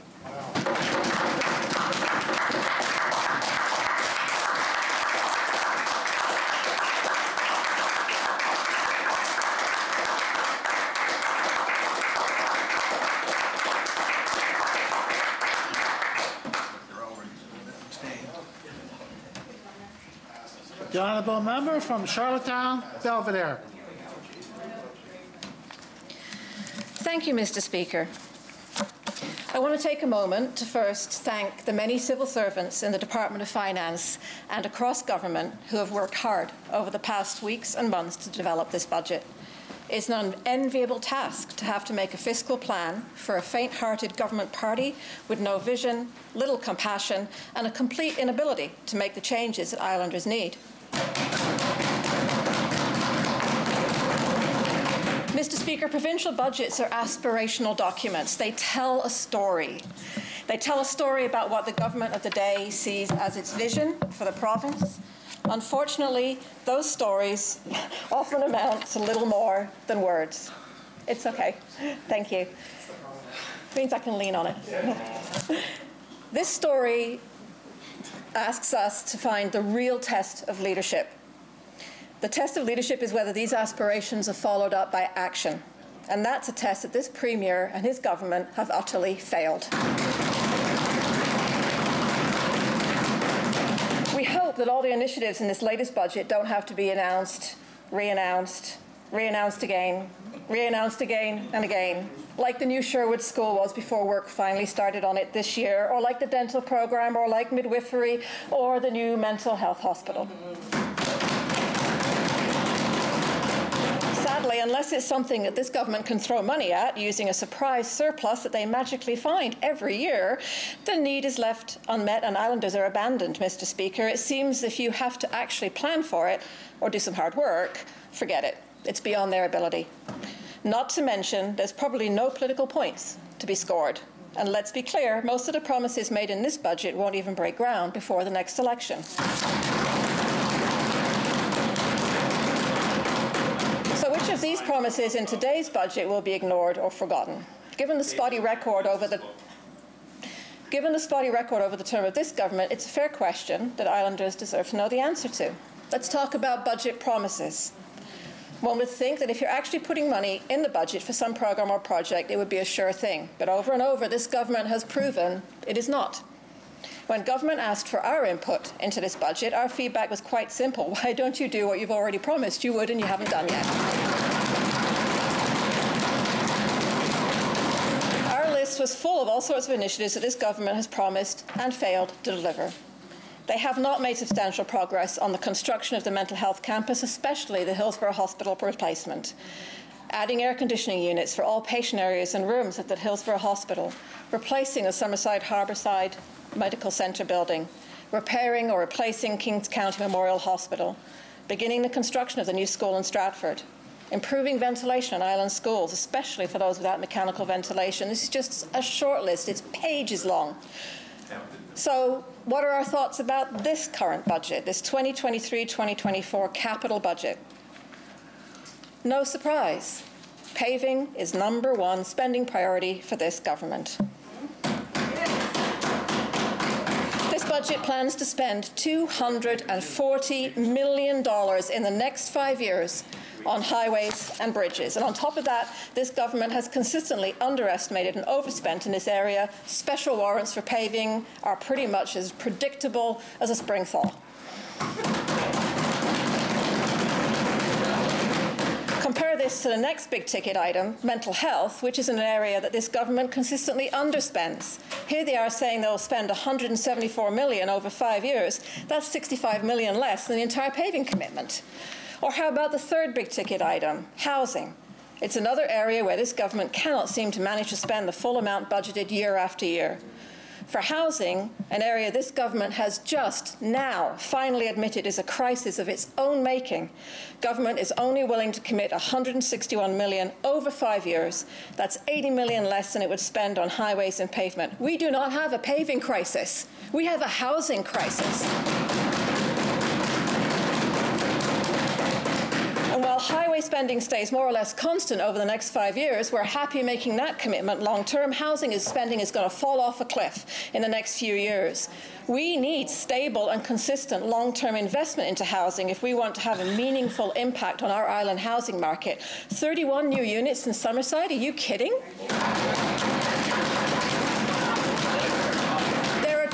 People who are going to be homeless in Summerside in two weeks. That's almost the entire commitment that you're thinking is exciting for Summerside. We need hundreds and thousands of units, not 31. The only reason we need to have such a big spend on housing in this budget is because governments, not just this one, but previous ones as well, will give you that. You have failed for years to invest in housing. Don't pat yourselves on the back, neither side. This is only starting to make up. We are only now, now beginning to make up for years of outright negligence, Mr. Speaker. This negligence has cost islanders dearly. It's not just cost them economically, it's cost their health and their well-being.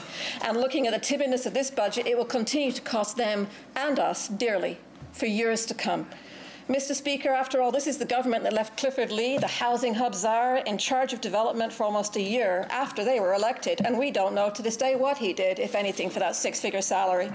This is the government that didn't even bother to apply for the Federal Rapid Housing Initiative that offered 90% federal funding for essential local housing projects, and we didn't put an application in. This is the government that has invested in new student housing, but is totally okay with leaving it empty until next fall so they can provide accommodations for two weeks for the Canada Games.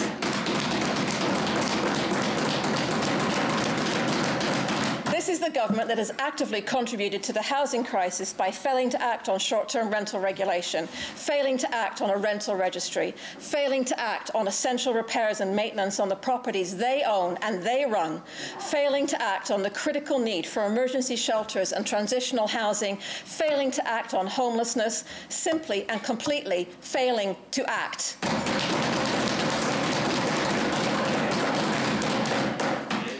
Have been years of inaction on housing, Mr. Speaker, predating this administration, but yesterday we heard for the first time government admitting that we, what we have known and said out loud for years, that an aggressive population growth strategy without an associated plan for housing, healthcare and education is a recipe for disaster. The time to act was 5, 10, 15 years ago, but the second best option is now. To quote C.S. Lewis, if you are on the wrong road, Progress means doing an about turn and walking back to the right road. And in that case, the one who turns back soonest is the most progressive. I guess we may have finally found that person in this government's caucus. It's a shame about the rest of them.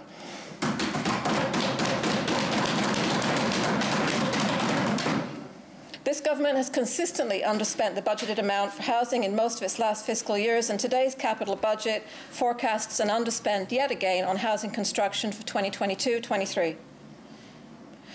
Mr. Speaker, with an ageing workforce, we risk not having enough skilled tradespeople to meet the need for more housing. And we're worried that government has not treated this labour shortage challenge with the attention it deserves. But that means that government has a story ready to go when they fail to meet the targeted new housing builds. But this is not just an accept this is not an acceptable excuse, Mr. Speaker. There are plenty of creative ways to address housing shortages without the limited scope of traditional box building. What could that look like, Mr. Speaker? It's not rocket science. It could include investment in the capital budget for existing housing acquisition, which would open up access to federal funding programs that we have not yet tapped this government can and should be leveraging federal funding programs and the Housing Corporation assets. We own 1,600 housing units, Mr. Speaker. We can leverage those and the value that they had contain to buy existing multi-unit commercial properties like the Causeway Bay Motel, to convert commercial space to residential, to invest in modular homes, prefab homes and tiny homes and the associated regulatory changes that they require, and to purchase existing rental properties as they come on the market. The Minister of Social Development and Housing said just yesterday that we need 1,400 units a year just to begin to address the housing shortfall in the province. And honestly, Mr. Speaker, I think that's an underestimate because we're already so far behind. It is critical that this government expand its inventory of public housing from its current 1,600 units.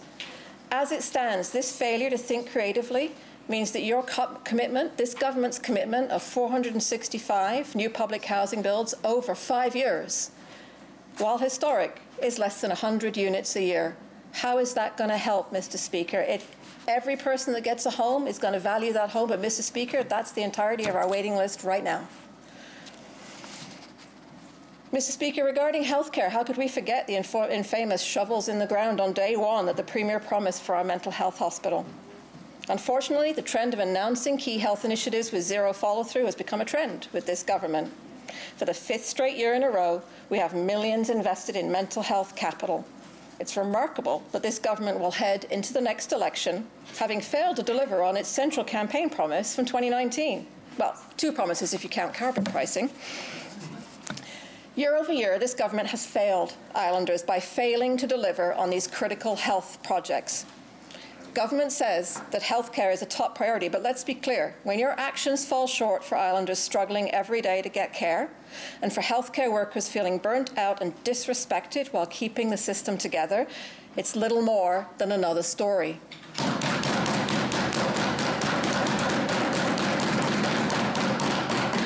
We do not underspend on pavement or fail to complete road projects, Mr Speaker. If healthcare was a priority for this government, the promised health clinics and hospital upgrades would be up and running by now. If health and wellness was a priority for this government, then they would have learned from COVID and invested into our long-term care infrastructure already. There's money in this budget for construction and renovations to clinics and hospitals across the island, but these are largely the same promises that were made in last year's budget and the year before. I'll believe it when I see it, Mr. Speaker, and so will the thousands of islanders who have no family doctor and nowhere to turn for their day-to-day healthcare needs. Mr. Speaker, we are way past the point of needing major investment in climate change, both to reduce emissions and to pre prepare for the changes that are now inevitable. Yet this government continues to rely only on words and tinkering around the edges. We have yet to see a commitment to the transformative change that we know must come. Emergency preparedness is more than generators at fire halls. Welcome as they are, we should be providing money to retrofit community centres to be fully accessible fully accessible emergency warming shelters with generators or solar panels with battery storage, washrooms, shower facilities, kitchens. We are going to need them sooner than we want.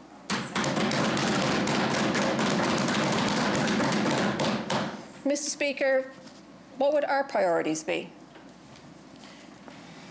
Paving is great to have we need to get from A to B. I mean, we need those roads, but a responsible government will be providing for people's basic needs first.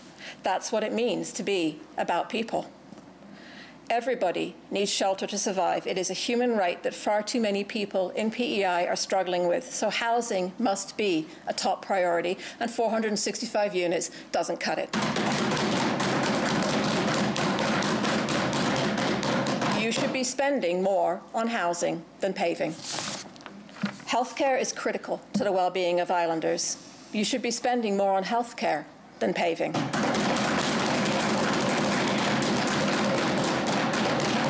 Building and preparing for the new and evolving climate reality also needs to be a high priority. We're starting to see some baby steps in this direction, but given that we're decades behind where we need to be, this isn't enough. We should be spending more on adapting to climate change than paving.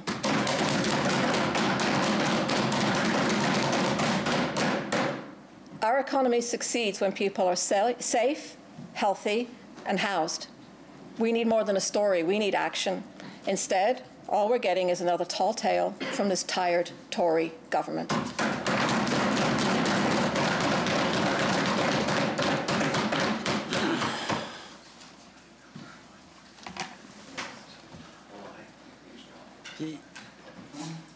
Honourable member from Charlottetown West Royalty and third party House Leader.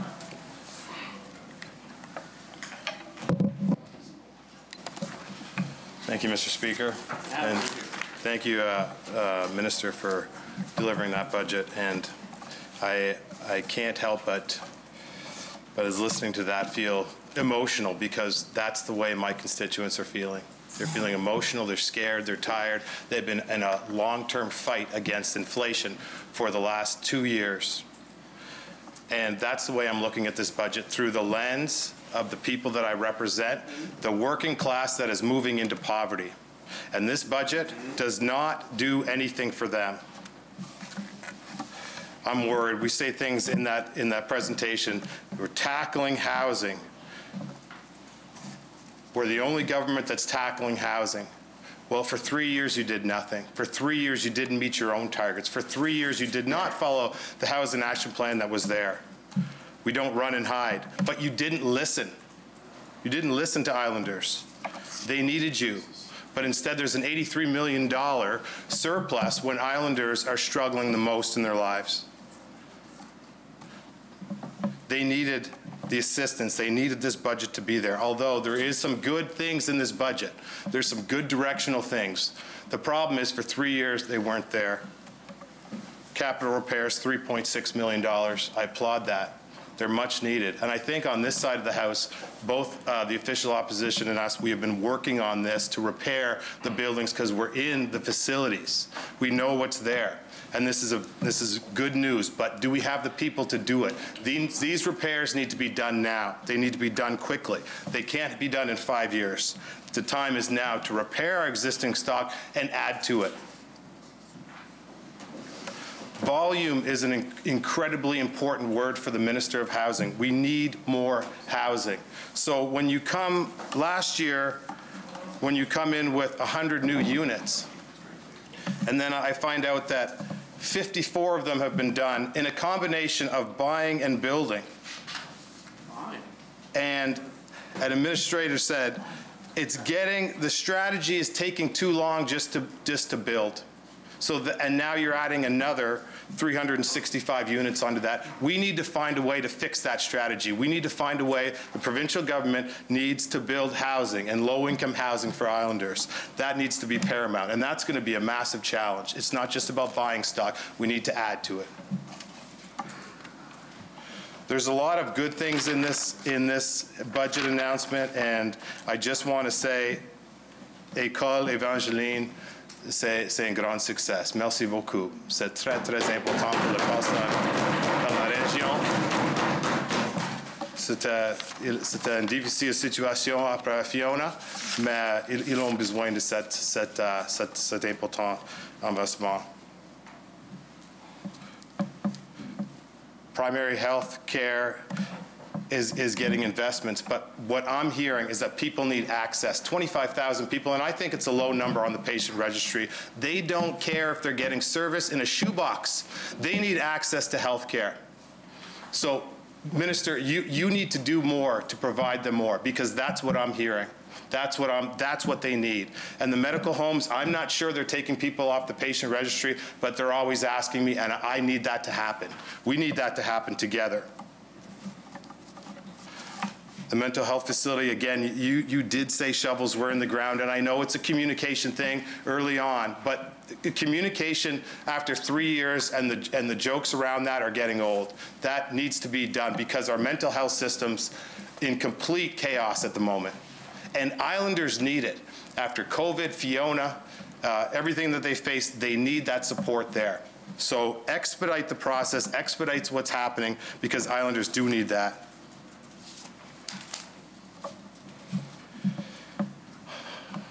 I look at this, and the minister said this is an evolution, not a revolution. We do need a revolution right now because we sat around for far too long not doing enough. So change that. It does need to be a revolution. We need more because Islanders are hurting. They don't have a place to live and they need supports. People not far from here have formed a community that needs supports. They need our assistance. They need our help. And I'm not sure why, in our, in our submission to this government, we ask for transitional housing units, it's right here. But yet we find we get shelter units for people who have built a community. It's not going to work. They need transitional housing, Minister. I will give the minister compliments to that. There's, there's things being done. There's things being done, and, and and this is something that we need to work on together. And I appreciate our conversations, but it's, it's the model. It's the model that we have to get right.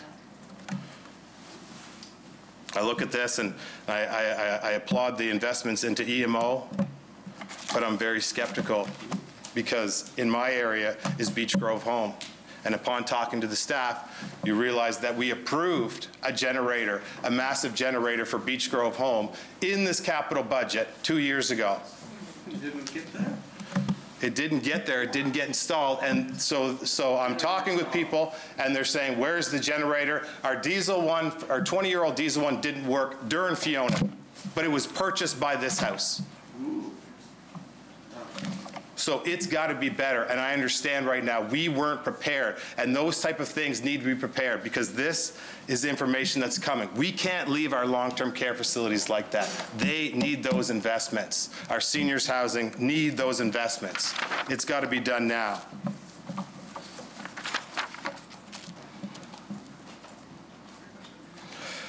I, I, I just want to say in closing, I'm emotional because the people that I talk to are emotional and they're hurting. They're hurting. So get busy spending this money for Islanders because it needs to be done. And this is this cannot be anything set up for the future next year. This money has to be spent before anything happens because they're hurting and it's their money and they need it now. Thank you, Mr. Speaker. Pass the budget. Pass the budget.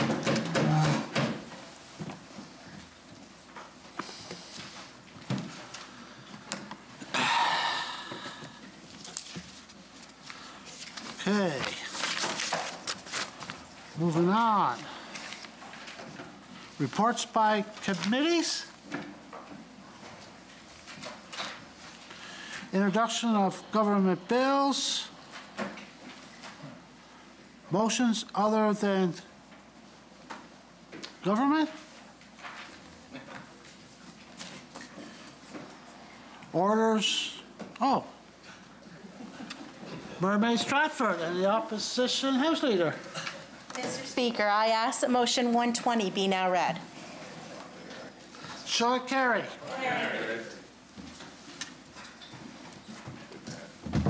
Motion 120.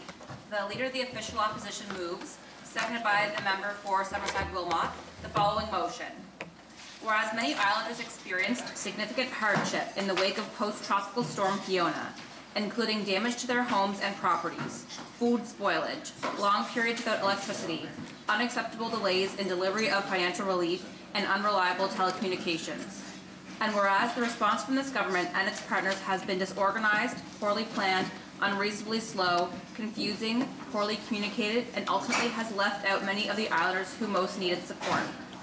And whereas many pre-existing issues faced by islanders were exacerbated by Fiona because they have not been adequately addressed by this and previous governments. And whereas this government failed to address many of the lessons learned from post-tropical storm Dorian. And whereas as a result of climate change, tropical storms that hit Prince Edward Island will continue to increase in both intensity and frequency. Therefore, be it resolved that the Legislative Assembly condemn government for its failure to effectively plan for and respond to the impacts of post-tropical storm Fiona. Therefore, be it further resolved, the Legislative Assembly urge government to immediately initiate a public inquiry into the response to post-tropical storm Fiona so that a full accounting of its actions can be heard and lessons learned in preparation for future storms. Okay, we'll ask the Honourable Leader of the Official Opposition to start debate. I would be delighted to. Thank you, Mr. Speaker. It's a pleasure to stand today and to speak to this motion. And I think I'll start off by referencing, um, Mr. Speaker, can I recognize a couple of folks in the gallery? Sure you can. Thank you. I see Paul, Pauline Howard is back here, and I believe you were here yesterday, Pauline. Lovely to see you. And also Bethany Colquitt McNabb, who's here for her first time this sitting. No doubt not the last. Good to see you. Uh, it's a pleasure to rise to speak to this motion, and I want to start by uh, making a connection with the discussion we've just had on the capital budget. Now, of course, naturally, part of the capital budget relates to the, the Department of Environment, Energy and Climate Change, and we're talking about the impacts of Fiona. So there's a, there's a direct relationship there in terms of the budgetary, uh, how much money is, is being budgeted for that department, and my my colleague, in her address to the capital budget, made reference to the, the small amount in that particular department, the fact that we underspend regularly in many departments, and that would be one of those departments. So there's a, there's a connection there, but more, the stronger connection that I want to bring forward is how what we see as a failure of this government to make priorities, to have a vision, to create a plan, and to execute that plan. Failure in all three of those areas is present both in the capital budget, which came forward this afternoon, as my honourable colleague mentioned, a real lack of vision, a, a lack of awareness, a lack of acknowledgement of the real issues that are fa facing islanders today. Fa issues in cost of living, issues in housing primarily, and issues in accessing basic services, particularly healthcare. All of these are pressing issues for thousands and thousands and thousands of islanders. And a responsive, bold, visionary government would have reflected those needs in its budget. I just did not see that today. Moving to the motion, which is talking about government's response to Fiona, I think there are some very clear parallels here. The issues when it comes to responding to a crisis like this, and as we all know, this is not the only time this has happened. It's far from an isolated incident, and it certainly will not be the last time that we're faced with an extreme weather event which impacts the lives of every single islanders. There are two main components to this. One is the level of preparedness before the event happens. And the second is, and the second aspect of it is the quality and the immediacy and the cohesiveness of the response which comes afterwards. And I would say in both of those cases, this government failed spectacularly. Wouldn't it be nice, thinking to Fiona, you know, when, when governments are dealing with a situation like that, you know, an emergency really stretches government's abilities because um, they're working in tight timelines, they're often working with incomplete information, and in unfamiliar territory. And things are just very difficult. Communications internally are also hard.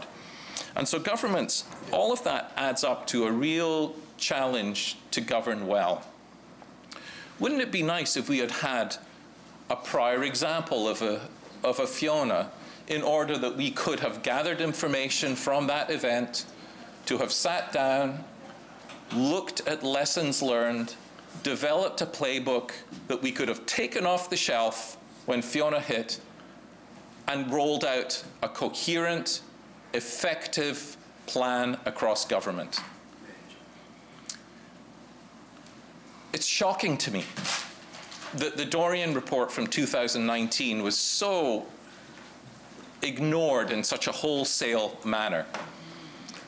I'm not suggesting that the report was comprehensive enough. I don't think it was, and that's why the last, uh, the last operative clause of this motion is to call for a public inquiry, because I, am going to get to that later.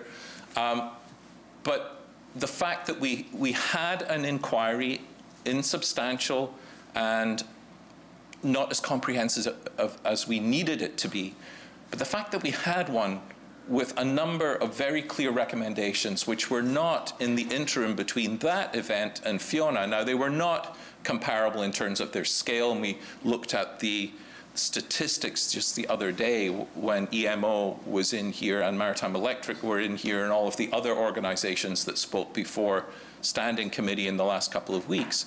And you can see that the scale of destruction related to Fiona was, was significantly and sometimes 10 times more destructive than Dorian. But the essence of the problem was the same. And the fact that we did not learn from, and that was the same administration that was in power in 2019 and was as, as was in power when Fiona made landfall just a few weeks ago. The fact that they did not take the information, that valuable, invaluable information that we learned at that time, and crafted a plan to make our response to Fiona so much more effective than it was is a real failure of this administration. I think it's really important that we make a distinction between government's responsibilities, and that would be in terms of preparedness and in terms of response, and what happened in the community. I, I, I cannot praise enough the efforts of a number of groups, first responders, who were there on the night of Fiona trying to deal with extraordinary problems, fires at Stanhope Golf Course, for example, that they could not physically get to. I can only imagine uh, uh spending your life as a firefighter arriving at the scene on a night like that, uh, in a situation like that, and, and not being able to carry out your job. That must have been just horrendous for them. But of course, they, they carried out very many successful rescues. In my own district, a family, um, the, house, uh, the roof of their house uh, essentially blew off, not the whole thing, but enough of it that they had to be moved out of their house at the height of the storm at about 2 or 3 o'clock on that Saturday morning. And they live, um, I, um, um, don't want to, I don't want to identify the family too clearly, but they live uh, in my district. And they called 911, a large family, uh, I, I, might say. Uh, they called 911 and fire and police arrived at their house within minutes and evacuated the family from the residence. Again, this is in the pitch black. The storm is as wild as it was going to be at any point during Fiona. And the first responders, they had a, this family had a van, uh, actually a school bus in which they, they traveled. And they were taken from their house and they were escorted by the first responders into town, into Charlottetown. On the way, part of their vehicle blew off and they could not drive any further. And the first responders moved the family, many children, into their trucks and their vans and their cars and took them to a shelter in Charlottetown. In fact, they took them to first responder facilities. That's just one example of what first responders did at the height of that storm and continue to do when, the, when we had representatives from the fire department here just the other day, they catalogued how many calls they're still getting on a, a daily basis from islanders where there are trees hung up on lines, where there are issues with their property, where there are continuing fallout from Fiona, and, and, and, they, and they continue to take calls on a daily basis. So I absolutely take my hat off to the first responders who at the height of the storm were there, and three weeks later continue to be there serving islanders selflessly. The vast majority, almost 100% of the first responders, the fire, fire service here, volunteers. And the work that they have done and continue to do is, is just absolutely admirable, and, and I thank them from the bottom of my heart for that. The Lines people who restored electricity across the island, and as I think the Minister said in his budget address, this was the first instance in Canadian history since we've had electricity where an entire province lost the complete, um, the system went down, the whole grid went down simultaneously. And yes, it took a long time to get it back. And I think the scope, the magnitude of the damage that was done as a result of this storm was not I, I, don't think it was I don't think it was even possible for people to to clearly have a picture of just how bad things were. And I know we were told originally it's just going to be a few days. You know, it may not be today, it may not be tomorrow, but we're, we're going to get your power back. And I think all of us knew deep down in our hearts that this was not something that was going to be done in a few days. It was going to take a very long time. And sure enough, two, three weeks later, some islanders still were left without power. But that's not because the lines people were not doing their job. I don't know how many of us here in this room came across crews um, in our day-to-day -day travels around the province. I certainly saw dozens of them, um, spoke to dozens of crews during those couple of weeks. Crews from, of course, the island here, folks who were based here, crews from New Brunswick, crews from Nova Scotia, crews from from Quebec, crews from Ontario, and even further afield. Some crews from Newfoundland, some crews from BC and out west, and, and some American crews here as well, linesmen who came up here from Maine and other states in the US to help with the, with the restoration of power. And without exception, the ones that I spoke to, and most of the time they didn't really want to speak to me, they just wanted to get on with their work, and I, I absolutely applaud them for that.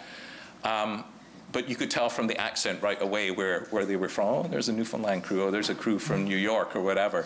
Um, they were all extremely professional in, in what they did and worked extraordinarily long hours in order to do what they did. And the work of those frontline folks who restored power to an entire island that was stamped on in a way that we've never experienced before uh, was quite extraordinary. So thank you to the, the operators, the, the, the line crews who were here, lines people. And then we come to the volunteers in our community. In my opening remarks in this House, both today and yesterday, I, I talked at length about the experience that I had in my district. Uh, three centres that were opened, um, one in Afton Hall with the rural municipality of West River, one in the Kingston Legion, which is also in that municipality, and one in Emyvale, in Kingston Emyvale municipality.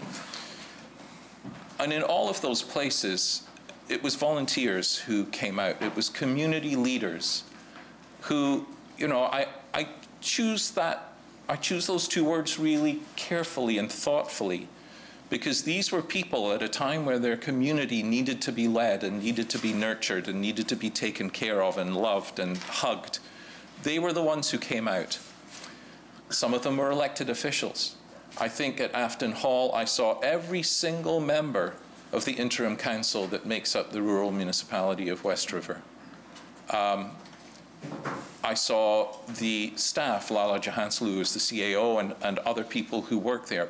And I also saw dozens of community volunteers who came forward, community leaders, and were there peeling carrots. They were there fixing people's internet problems. They were there making sure that people had hot water.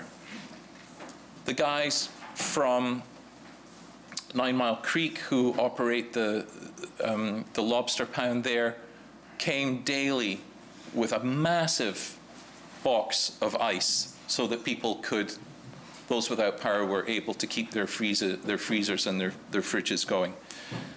It was, uh, it was quite an extraordinary thing.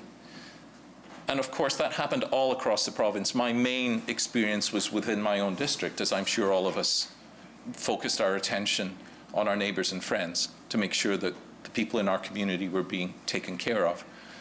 And, uh, and that, that was replicated and echoed across this province. But I want to make special note of a group of people who sprung up in response to a very large gap in government's response to this tragedy. And that, that group arose in Charlottetown. And it started off as a very ad hoc group of a few people who were concerned about their neighbors and friends. And it grew to become Charlottetown Mutual Aid, an organization with no prior history, no structure as such, no funding, no board to manage it. Although I have to tell you, they were extraordinarily well, effectively, efficiently managed. It was an organic process through which they organized them, themselves and egalitarian. It was a beautiful thing to watch, actually. And if you had the privilege of dropping into Charlottetown Mutual Aid at the locations, that the many locations, actually three at least that I, I was aware of, that they occupied during this time, you saw community in action. You saw people, many of them, no better off than the folks that they were helping, without power, without water, without lights. And yet, what they had was generosity of heart. What they had was a willingness to come together and to be there for their, for their community. And they did an absolutely extraordinary job. When I look at the number of people who were directly helped by Charlottetown Mutual Aid and the scope and the breadth and the depth of the assistance that they offered across this province, then my heart is full and uh, I, I, I'm just absolutely blown away by their commitment and the work that they did. Mr. Speaker, it's time for me to adjourn debate on this motion, and I call for adjourn of debate, um, seconded by Summerside Wilmot. Shall it carry?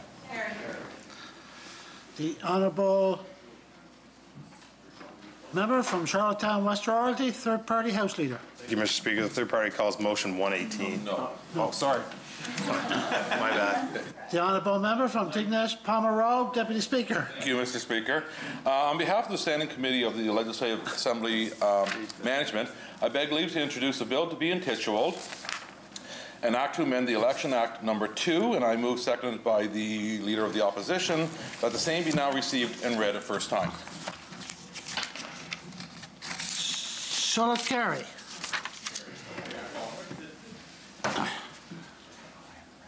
Yeah.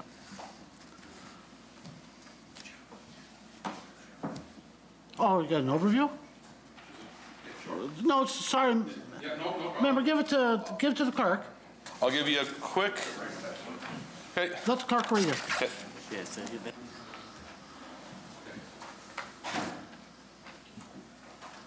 Bill number 120, an act to amend the Election Act number 2, read a first time. Overview, member?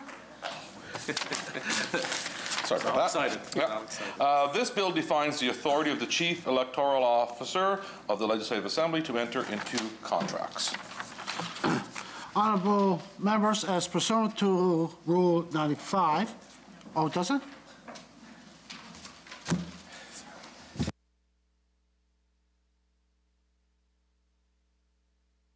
Oh, I'm sorry. Do you have another bill? The Honourable member from Tignish Palmer Road, Dec- Deputy Speaker.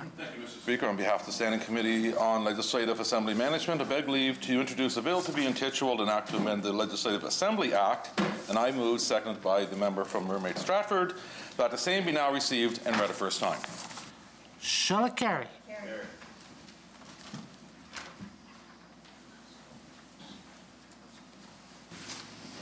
Bill number 126, an act to amend the Legislative Assembly Act, read a first time.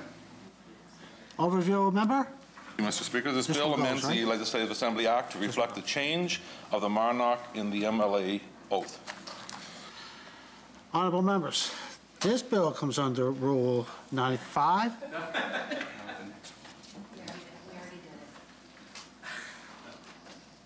Do you have another bill? The honorable member from Tignish, Palmer Road, Deputy Speaker. Thank you, Mr. Speaker, and I move, I beg leave to introduce a bill to be intituled um, Election Signage Act, and I move seconded by the member from O'Leary Inverness that the bill uh, do now be received and read a first time. Shall it carry?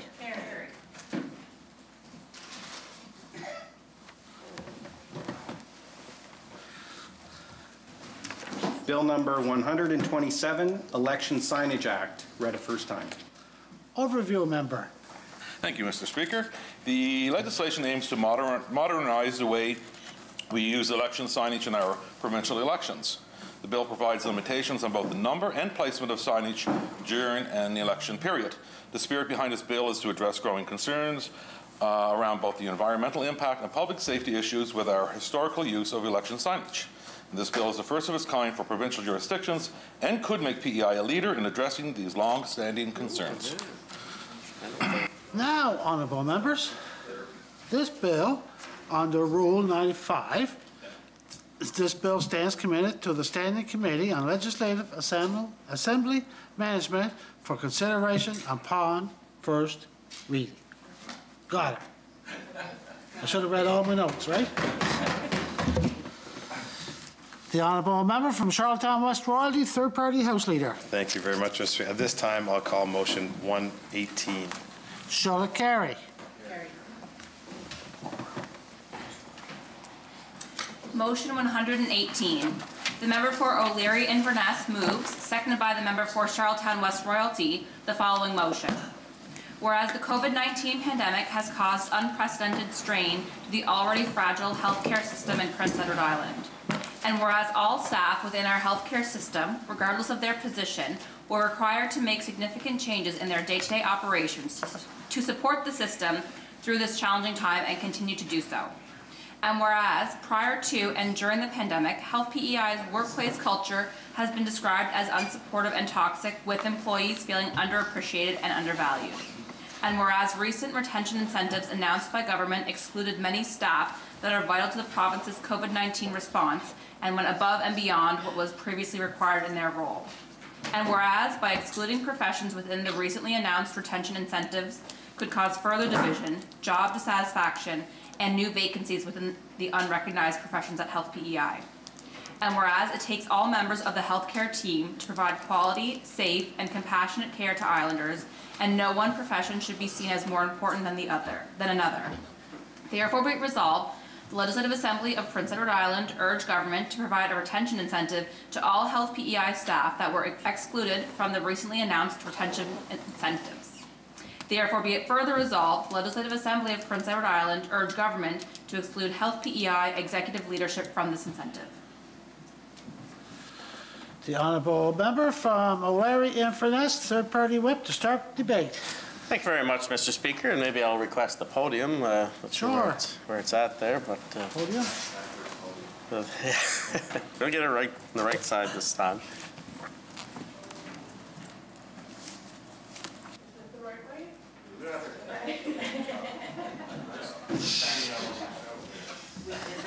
Anyway, Mr. Speaker, uh, this I feel is a motion that uh, I wanted to bring forward, and obviously I had addressed some questions in the legislature here recently just regarding uh, the issue of um, some sort of a bonus, an incentive, or something that's going to help retain uh, our workforce in our uh, important industries of healthcare, Mr. Speaker. And, uh, you know, as a former Minister of Health, I, I understand the challenges that ministers have when interceding into uh, what I'll say is a, a machine of delivery of health care here that, uh, you know, all partners, it's a team approach here. Everybody plays a role. And I don't care whether that's the, the uh, person who does the maintenance, uh, shovels the snow and the sidewalks to, to get into the healthcare facilities after a storm, Mr. Speaker, the people who work in the boiler rooms, the, the people who uh, do lab work, uh, medical secretaries. The list goes on, Mr. Speaker, of healthcare delivery in this province. And I have to admit, on October 18th, when the Premier and his government announced an $8 million uh, program heavily focused on the retention of RNs, LPNs, and RCW, I was really puzzled by this because I felt that uh, when you single out certain professions in the healthcare delivery, you're, you're going to create uh, a work environment that's going to be difficult at the best of times, Mr. Speaker. These people are under tremendous stress. And uh, when uh, an RN may be requesting a uh, lab results back, or uh, if uh, somebody has to type something up uh, to document a form or whatever, you wonder whether they're saying, "Well, you know, I, you got the bonus, I didn't. I'll get to that when I when I can." Versus the attitude of saying, "I'm going to really dig in and help and appreciate everybody here in this, Mr. Speaker." You know, those are the types of things that I would say are pitfalls when, uh, when a government intervenes. And so, you know, I feel now you have to try to deal with this issue. You have to try to reconcile the fact that some people got money, some people didn't. And, uh, you know, it, it, uh, is, it has to be addressed and corrected. And, uh, you know, I, I also felt that uh, it puts government in a very, uh, this announcement, especially for any of the ones that you didn't already uh, have a uh, contract signed with, because uh, the collective bargaining process is an arduous process at the best of times, Mr. Speaker. And, uh, you know, there's a number of uh, union agreements that have not been signed. They've expired for some time. And I think that's going to put government uh, in an awkward spot because I think those people are going to be wanting that is, is going to be included in the discussions. What that means that it's more money. It's, it's going to be a tougher agreement to, to reach, Mr. Speaker. So I think, you know, certainly I would say that if I had been involved in that situation, I would have said, let's get our collective bargaining agreement settled. Let's uh, get everybody on the same page and, and uh, then move forward in that, Mr. Speaker. But to, uh, to turn around in a situation where some people have certainly have called and reached out to me, I've had numerous uh, emails and texts, you know, some people got, uh, you know, executive uh, uh, leadership people got a big bonus. They got their money for no problem at all, Mr. Speaker. Then all of a sudden we've got an announcement that said that, you know, some of them are going to get two, three thousand dollars, fifteen hundred, whatever the number is. It's kind of a, a mixed uh, shot. And then there's the, the rest of them left. What did they get? Flashlights, and I might add cheap flashlights, because most of them said they didn't work any longer than maybe a half hour after the power went out oh. Lavender seeds, which I thought, I where the heck did they get lavender seeds, and what was the purpose of that? Well, it was there. It's uh, soothing and serene, I'm told. That sort of to get you through the healthcare system. and then also the tote chocolate-covered potato chips, Mr. Wow. Speaker. Chocolate-covered potato. And why? Why would that be? Well, nothing the note said they're just so darn good, Mr. Speaker. So nothing says thank you more. Nothing says thank you more than that. So you know, so I think that the reality is, some of them said the flashlights didn't work. I didn't know. I tried to smoke the lavender seeds. And, and uh, yeah, well, there were some people were told where they could shove the flashlights, Mr. Speaker.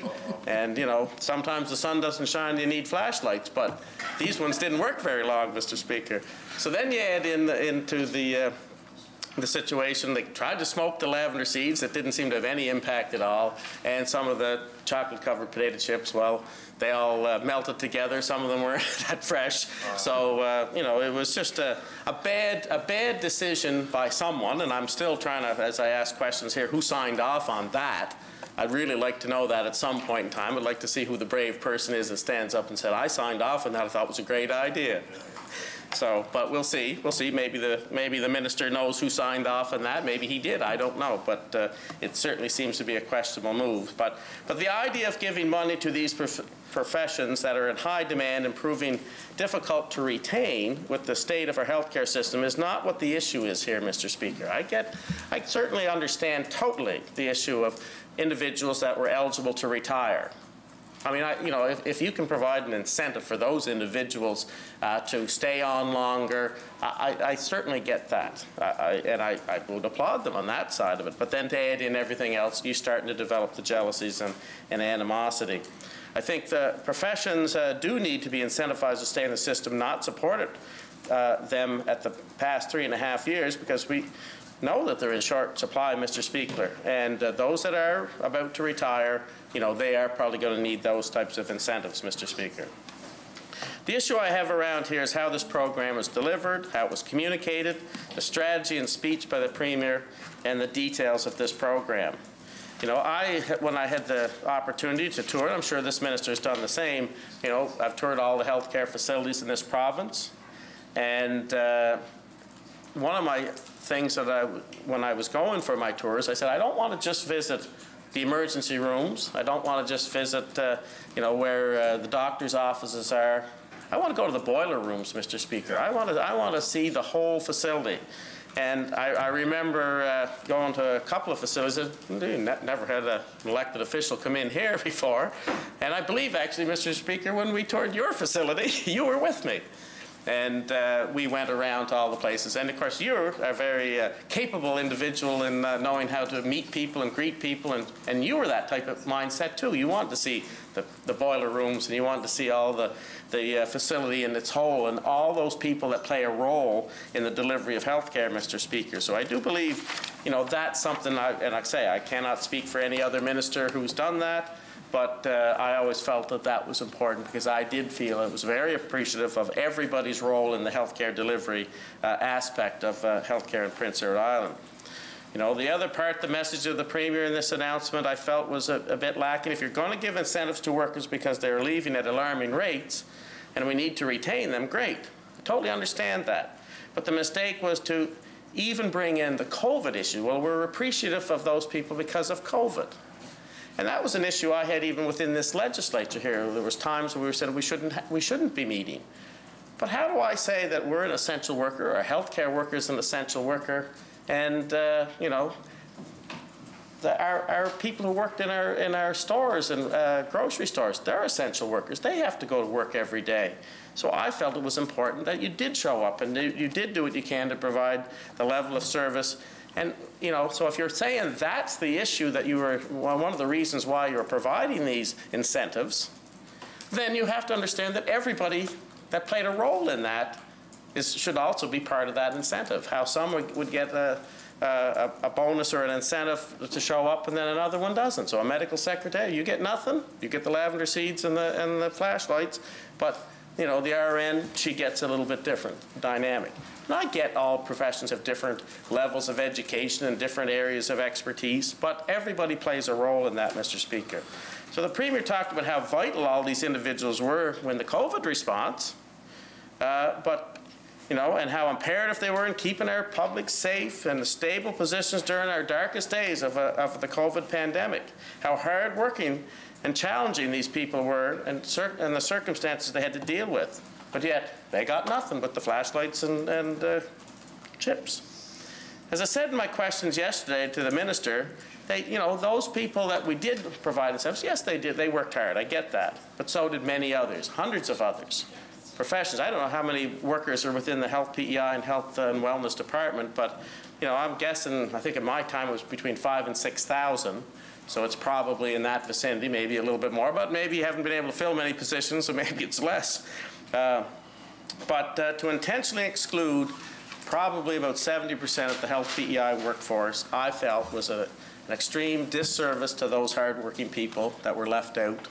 And uh, I think it's going to be a hard issue for to try to resolve this issue when you get into uh, trying to conclude your collective bargaining agreements, in which some of them I think are a couple of years in, in, in expiration, and uh, you know that's going to cost a fair bit of money at some point in time to bring that uh, to a proper conclusion, Mr. Speaker. Health PEI certainly has a lot of uh, full-time equivalent positions, and uh, only thanking a fraction of them is uh, certainly disservice, and I understand totally that it does take a complete team to uh, deliver health care in the province of Prince Edward Island, Mr. Speaker. Not to mention, you did this in, at their workforce or at their workplace, Mr. Speaker. Sometimes uh, having announcements of this nature when they were right in their face, basically, that you're getting nothing while others did, probably would be a little bit of a salt in the wound for some of them. I'm sure there would be people that would be sitting around uh, uh, following uh, the procedures and the announcements and finding out my colleague next to me got a bonus and I get nothing. So you know, that's, that's the type of stuff that we have to be very careful of, and I think it's almost insulting. And I think in one of our legislative committee meetings, we had one of the union reps here, and I think the comment was, or the quote was, it was a complete slap in the face to her union uh, uh, people who worked so hard and that she tries to represent. So, uh, you know, so those are the types of things that we have to. So all this is going to do is create further division amongst our professions. I know they're professional people. I know they'll overcome that. But uh, when they get home at the end of a hard uh, day and uh, having to deal with all the issues that they face in the run of a day and the challenge, they are going to start to think a little bit about, gee, that flashlight's just not cutting it anymore for me as far as an incentive. And, uh, you know, I, think it's going to it's to sting a little bit, Mr. Speaker, for some of them. You know, so, uh, and, and it also creates that hierarchy of, uh, of in the, within the workplace. Once again, elect, uh, executive leadership, they got bonuses, although we're not sure the amount just yet. I hope the minister will, will find that out eventually, I'm sure. And, uh, but yet, no cooks, no cleaners. They didn't get nothing. Respiratory uh, th therapists, of all the people for COVID, they got nothing. Uh, uh, lab technicians, Mr. Speaker, I, I know I've been to the lab at the QEH. Uh, they are really working hard in there. I think they're having the same challenges. So many hard to get lab technologists, and uh, you know, so and without the lab results of the tests that they have to do, nobody can make a decision on anything. So they're a pretty in integral part of our healthcare delivery, Mr. Speaker. Um, you know, just like I said, the maintenance workers, the people that keep the heat on. Our healthcare systems have uh, unique arrangements. Some of them have biomass burners that are kind of done by a third party, and uh, government buys the heat that they create. Sometimes they're working, sometimes they're not. The, the boiler maintenance people have to keep, uh, keep uh, the heat going, have to keep it consistent. A lot of technology that they're involved with. Most of them are on call 24 hours a day, seven days a week, as the saying goes, Mr. Speaker and uh, all they get is flashlights and lavender seeds, Mr. Speaker.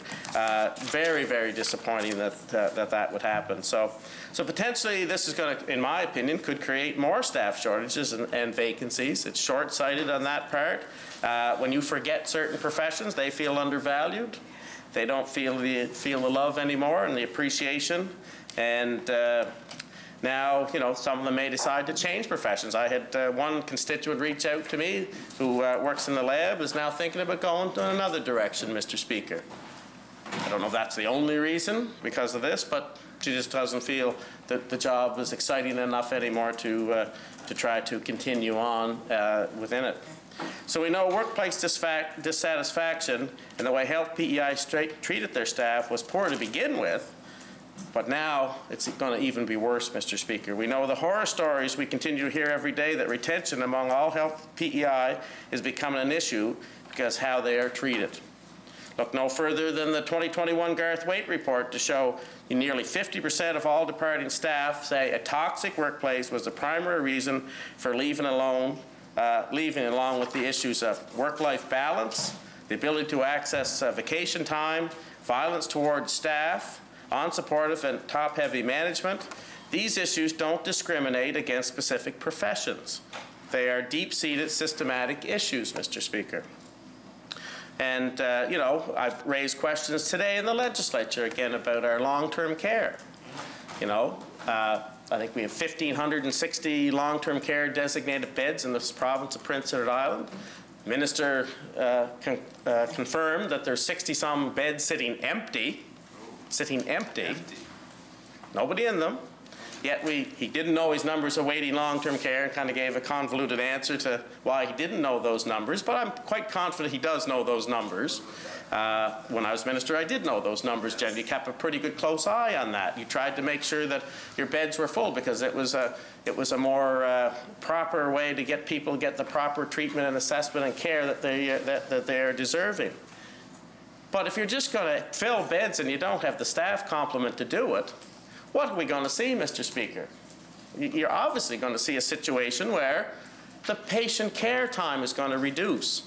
Uh, I think that the standard is about four hours a day. I remember in a committee meeting here uh, that uh, of patient care that goes into a 24-hour day, and that's where a person actually gets to, to, help feed somebody, sit and talk with them, uh, try to uh, do a little bit of uh, movement, exercises, all those things. That's a level of care that would be generally.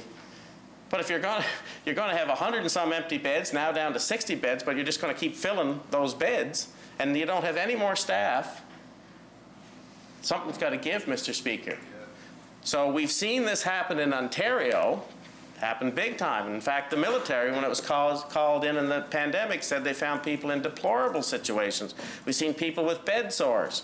We've seen, you know, situations where people weren't getting proper nourishment. So if we get down to you're only going to see maybe a, an hour, an hour and a half a day of patient care, what kind of level of care is that? I had a, I had a, con, uh, a former constituent, I guess, she's actually living now in the minister's uh, riding, reached out to me uh, last night. Her granddaughter did actually. Showed me some pictures of, I'll say, a deplorable situation of a, a person that is awaiting long-term care in a hospital bed, getting no care, deteriorating fast, the eyesight's poor. The families happen to go and feed this uh, their their mother, grandmother in this situation, and uh, because there, there's no patient care no services. You can't, you can't allow people to live in these kind of deplorable situations, Mr. Speaker.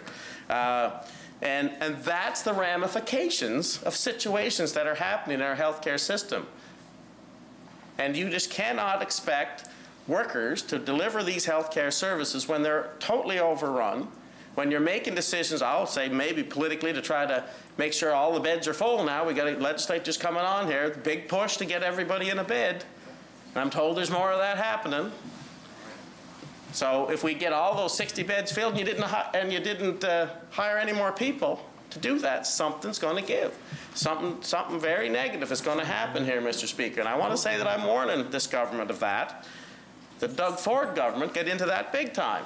I know the Premier was up having barbecues with Premier Ford, good buddies. Maybe he's learning a lesson. Oh, Ford says, just go. Don't you need don't need any workers in there to do anything. Just fill the beds full. Get them full. That maybe that's the advice he was getting. I would say that's foolhardy advice, Mr. Speaker. Definitely. We also seen not long ago that the QEH emergency room nurses were sounding the alarm this summer that violence they continue to face in the emergency department from patients is proving that. And that's, you know, that's unfortunate, but people are frustrated. Everybody's frustrated. The wait times are excessively long. People are sitting in an ambulance uh, waiting to be discharged. They, they, can't get into the emergency room.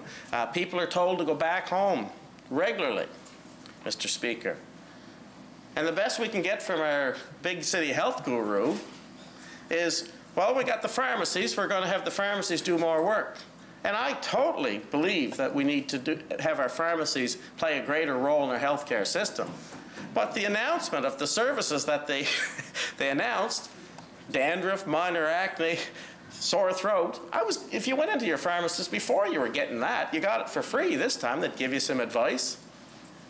Now you're paying $3.5 million to get the same service. Now, there was one, I'm going to give the government good credit on one thing that I th thought was good in that announcement was that uh, the renewal of some minor prescriptions. So I, I, certainly get that that's something that our pharmacists can do just on their own, and they will look at that. And I know in the capital budget they're talking a little bit about some uh, resources for uh, electronic medical records to allow the pharmacists to have access to uh, our electronic medical records of uh, healthcare files within the, the hospitals and our uh, doctors. But that's not delivered yet. They couldn't get the electronic medical record system out. It failed, and, and uh, they had to start over again on that. So I'm going to hold up a little bit of judgment to see what that's going to happen, Mr. Speaker. Uh, I would be certainly wonder when I look at uh, the report that comes out on family doctors why a lot of them have left their practice, or even if they are getting exit surveys. But, but I just look at the situation in Western PEI, Mr. Speaker, in, in my own area. We've seen doctors leave at a an, an, appalling rate, Mr. Speaker, and I had the opportunity to, to meet and talk with some of them uh, myself, Mr. Speaker. And, uh, you know, I, I hear Jollymore is leaving, Fox has left, uh, we've got uh, uh, Montgomery, I think, has given his notice that he's leaving. There's three, this is over 30% of our capacity of delivering health care to the province of PEI gone, are going, all shortly coming up don't see a whole lot of replacements coming. Now, I have to admit, O'Leary's a little bit of a different situation. O'Leary, I think, has four physicians, and I believe they're all still practicing in O'Leary, and uh, uh, that seems to be working good. And I will say that other than the, the minister pulling the ambulatory care services out of O'Leary, which have been reinstated, I, I thank you for that. uh, but, uh, you know, it's been working actually quite well. And I, I, appreciate that, that we have a fairly good complement of physicians. We've got, uh, we're doing some COVID testing. We're doing, uh, uh, you know, with the health center there, we've got our delivery of a, uh, an acute care beds. We're dealing with restorative and convalescent and palliative care. And uh, then there's a long-term care section that uh, all seems to be working pretty good and very few staffing issues. Not saying that, that, we're immune, but very few in general terms. It's the model he should be replicating in other parts of the province, Mr. Speaker. But it's a house of cards, Mr. Speaker. You start pulling people out. You, you lose the ambulatory care service. That leaves, now all of a sudden, people aren't going to the facility and getting the treatments that they, they have to go. Now they have to go to an emergency room. Now they have to go to another facility to get those services. You start losing a few more doctors. That starts to fade away a little bit. And uh, now all of a sudden the doctors that are there say, I can't handle the coverage anymore. We've got too much, too much to handle. It's a house of cards, Mr. Speaker. So very important that uh, the healthcare delivery is figured out and that you deal with issues around model of care, uh, scopes of practice. Those are the types of issues that at least you can kind of get through situations. I was, you know, certainly when the issue happened that uh, the ambulatory care services were pulled out of O'Leary, I found out through constituents. Nobody had the decency to give the MLA a call, but but having said that, Not so we're over. I did I did find out. And of course, I make some calls. Oh, it's just temporary. It's just temporary. I said, well, what's temporary mean? What's, what's that mean? Well, I don't know what temporary means, was the response back. I said, well, is temporary, would you define it in uh, months or would you define it in weeks? Oh, not months, uh, uh, Mr. MLA, not months. I said, okay, that's, that's fair enough then. At least now I've got some parameters. So when the, the three, three and a half weeks was up, or coming to the fourth week, which starts to get into the word month versus week, I make a few calls. Is our ambulatory care going to be reinstated? And I did have calls. I mentioned with Allison Ellis, the former MLA here. You know, he'd contacted me uh, about that particular issue. Well, we don't have a date yet. We don't have. I said, well, your term, your time is kind of coming here. It's, we're into, we're going to be into months, so that's kind of against what I was thinking. So I'm going to do, uh, take this upon myself and maybe go public with this. Lo and behold, I think about, I want to say seven or eight hours later, I get a call. Did you send, do anything yet? I said, no, I didn't. Uh, I've got a press release ready to go here. We're probably going to do it tomorrow hold on. I think I've got an, a, a, date for you. Wow, interesting.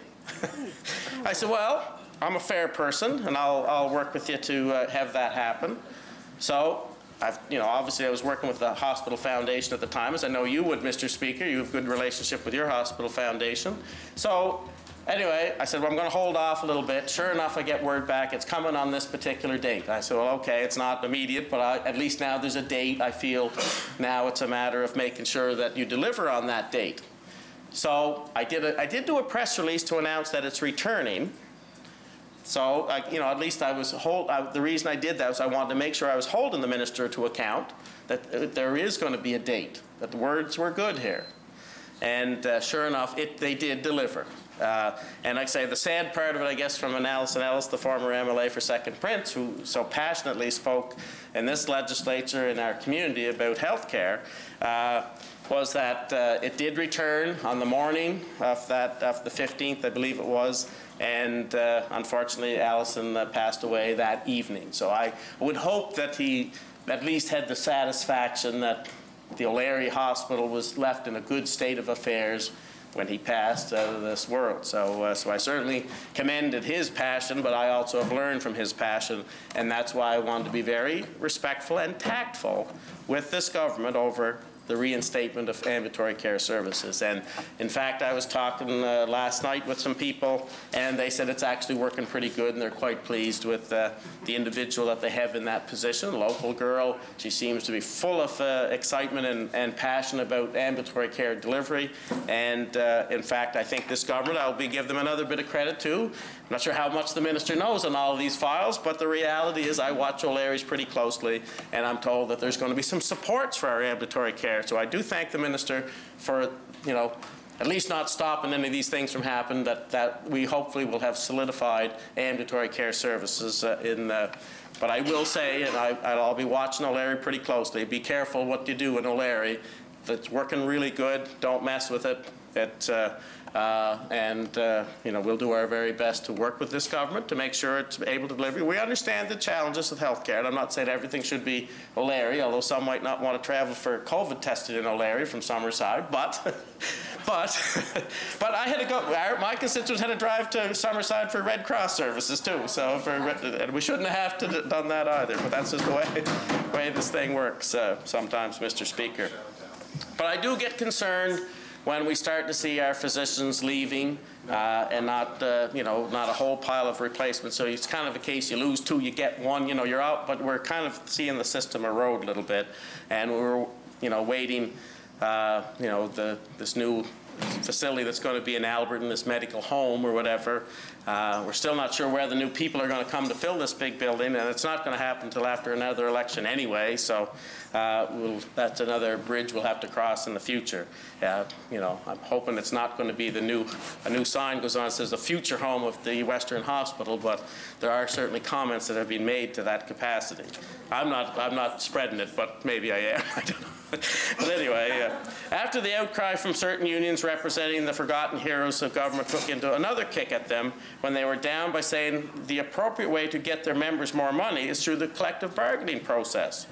I think these individuals deserve more uh, formal, heartfelt thank you rather than saying our appreciation for them will be shown in our collective agreements. And it's got to be more than, than uh, the situation of uh, flashlights and lavender seeds and potato chips, Mr. Speaker. So I think that's, that's really important to, to note in all this. So if you're giving incentives to workers because they're leaving at alarming rates and we need to retain them, great. But the mistake was to even bring, uh, oh, to bring more COVID into the situation and using that as an excuse is not where we need to be, Mr. Speaker. The government can't even keep up their sides of the collective agreement. So when they did make the announcements of these bonuses, I've got, I'm getting people calling me, well, where are they? We haven't seen them. I, all I can say to them, well, I'm not sure. It, it's, I'm assuming that the, the government's word is good, that you'll get them, but, but uh, you know, it's a little disingenuous to turn around and say you've got a bonus and wait for months before you get it. It's kind of like a lot of the announcements we make here. You, you're getting $1,000, but you're going to have to wait, wait for uh, three or four months to get it. Uh, so it's very important that if governments, I always sort of say in, in, the world that I live, and I know you do, Mr. Speaker, say what you're going to do, do what you're going to set what you said. If you follow those uh, words in this profession, you'll do pretty good. Don't create expectations that aren't realistic, making wild promises to get you out of a little bit of a bind. That you're in a bind right now, geez, I got, we're losing healthcare workers. We better throw some lavender seeds at them. See what that does. That don't work. Get, get a tiny flashlight that uh, runs out of power a half hour being on. You know, you gotta you gotta come up with something that's a little bit more better than that. Oh, geez, throw throw them some uh, a little bit of cash. See what that does. It, it reminds me a little bit of uh, not a big Oprah Winfrey show, but I did see something Oprah. Here's a check, a check for you, a check for you, a check for you. Everything, everybody gets a check. Buys you a little bit of time. Problem is, it's your own money that you're getting back. you know, I would argue on that comment, if you really wanted to help people, drop, drop the HST a percent or two percent. At least it's not inflationary. At least you're lowering the cost of things. And people, you know, it's, it's a fair way of distributing. Taking your own money and then giving it back to you, that's, I, I, I just, I, I know it's a disingenuous approach, but I mean, I, I, I don't, I see through that, but I know there's lots that probably won't, Mr. Speaker. Certainly, the, you know, I certainly fail to see how the collective bargaining is going to help unions uh, that have just signed their agreements or have been in the process now for two years. Now they're kind of starting all over from scratch, Mr. Speaker. You know, when they see this happening, it kind of tips the scales. You got, you got to, you got to, collective bargaining has to happen in good faith. You have to solve the problem. You have to come up with agreement and sign a contract and uh, get people, get people uh, feeling good about their positions, Mr. Speaker. You know, some of these negotiations, over two years they've expired. If, I, if, I, if I'm a worker and my employer hasn't signed a contract on two years, you can't come to a conclusion, I don't feel the love from that, Mr. Speaker. I don't feel the appreciation. I don't feel that this is going to make a big difference. Uh, you know, so that's, that's kind of the way I look at some of these things. The simple fact is, you know, it's, it's another one of these kind of smoke and mirror attractions. It's just like when, the, I feel that sometimes the Premier and the Minister, they're sitting up in their, in their ivory towers and they turn around and say, gee, the people aren't real popular. And they almost get some potatoes and cheese out to them as quick as you can. You know, it, it's, it's got to be something to throw out, you know, uh, let's get some gift cards. We got to do something here. It's getting bad. The polls have dropped, you know. And you know, so I just find that's a it's a poor way of showing appreciation. Let's let's get you know get down to things. Let's make things real here, and uh, let's get our collective bargaining agreements completed. Let's get our workers all on the same page, and then if you know uh, it's a way to let's resolve these issues with healthcare. Um, you know, so I, I, just feel a lot of this stuff, they're kind of minor distractions, uh, and I think, believe they're just there to try to keep polling high and attract votes, Mr. Speaker. And, uh, you know, so that, that's the way I sort of look at that. But, but I do believe all our healthcare workers deserve recognition. They deserve the respect, the thanks, the praise. I know everybody will stand up in this legislature and thank them, I do. I'm the same as I'm so appreciative of the healthcare workers in, in my district, uh, what they have to go through in the run of a day, uh, working nights sometimes. But that is part of the profession. And they are professionals. They understand that role but I don't feel they deserve abuse. Uh, you know, I, I don't feel they deserve lavender seeds and chocolate-covered potato chips. I mean, that's, I guess it's something, but it's just, it's, to me, that stuff is disrespectful. Let's show them the money. Let's get the agreements going to what they, they need to do. Um, you know, uh, I just I just wonder. I still got to say I got to wonder who who signed off in that lavender seeds and flashlight thing. I got to know that someday. with the scars and beer. What? I, scars and beer. I think I, cigars. Cigars and beer. Oh, but that one. But but you know, uh, that, that's got to be, it's got to be something. I, am sure there was somebody in the office, we've got to think of good things to do, and I, I get that part. I appreciate that, you know, there's uh, staff uh, ideas, but somebody has to sign off. And, and like I said, I have no idea what kind of money they spent. I'm going to be curious to know where they bought the flashlights, you know. You know, uh, well, you know, I hope it, I, I hope it's a, a genuine place. Uh, you know, with the lavender seeds, where did they come from? I know. I, well, I, I will say, I, I, wonder if they didn't get it through some sort of a gift bonus points or something there. Now, they're doing some stuff with the pharmacies. I wonder if maybe the minister's getting optimum points and he's turning around and he's turning around and reimbursing them for flashlights. I, I, I don't know but but you know, where where did they get those things? So I kind of know where the chocolate covered potato chips. They're they're cows. Well, oh, I get lots of time. That's that's we get more. Yeah. But, uh, you know, so I, I guess I, as I am trying to wrap up a little bit and let my uh, partner have a go at uh, this tag team match that we're, we're here, there is only three of us, so it's a tough. Uh, no. but uh, but anyway, uh, I certainly would love to know some of these things. Uh, you know, I would hope that they'll complete the complete negotiations on the expired contracts. That should be their number one priority, their objective. Get that done. All this other stuff is, uh, is smoke and mirrors as far as I'm concerned. Uh, you know, government should have known that this would be a strategy that, uh, you know, I know it's a divide and conquer strategy among the professions, but the delivery of health care is a complete team approach. It just has to be that way uh, because lives de depend on it. Lives matter, and, and the uh, proper treatment of people and respect of the patients. We always have to remember the patient should be the number one issue in healthcare. I, I can remember many times sitting around uh, meeting rooms, and I know the minister would be a similar situation to me. And uh, you're probably the least, least educated person around the room, the, the least paid probably even around the room. But I always sort of said my role here is to represent the patient. when I'm sitting around here and I'm saying I want to make sure the patient is getting the delivery of service that they need to get, that's a role that I can play. I don't want, you know, we always have to keep that front and center, Mr. Speaker. You know, uh, you know, long-term care beds, we have that many long-term care beds, uh, that's certainly something that I'm really concerned about as we're moving forward. Uh, These long-term care beds have to be staffed appropriately. Uh, I tabled a petition yesterday, Mr. Speaker. I guess actually I tabled a document, just to correct myself a bit on that, uh, uh, on uh, our private and non-governmental long-term care facilities. They also are getting nothing out of this. Their workers did yeoman's duty during uh, COVID. Those people uh, show up every day. They're trying to deliver those services. Our government pays for those beds. We have a contract, and over half our beds, half of those 1,500 beds, are in private, non-governmental uh, facilities. Those people are as just as deserving. They aren't getting anything from the RCW, RN, or, or LPN and RN bonuses at all. They didn't even get the lavender seeds or the chocolate-covered potato chips, Mr. Speaker. They got nothing. So, you know, that's the type of stuff that uh, needs to be addressed here, Mr. Speaker. And I don't want to see that, like I said before, we treat our seniors in a place where you're just shoving the, the food tray under the under the, the door, Mr. Speaker, and hoping somebody's going to come and crawl their way to the, the door and get the food and eat it and put it back out.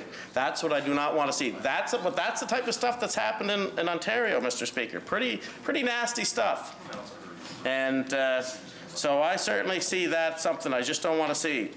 So there's an old saying, Mr. Speaker, that you have to acknowledge there's, there's a problem before you're going to have any way of solving it, and you have to be fair and, uh, and that's the key. It should be fairness is the mantra, should be of all governments and all elected officials that we're going to be fair. And we're going to, they're going to correct this issue, this imbalance, and try to make sure that uh, these people get their, uh, all the other professions that deliver health care in this province and in our private and non-governmental facilities will get some services. So therefore, Mr. Speaker, I certainly uh, urge this government to uh, basically deal with this issue and provide incentive uh, initiatives to uh, all our healthcare workers on Prince Edward Island.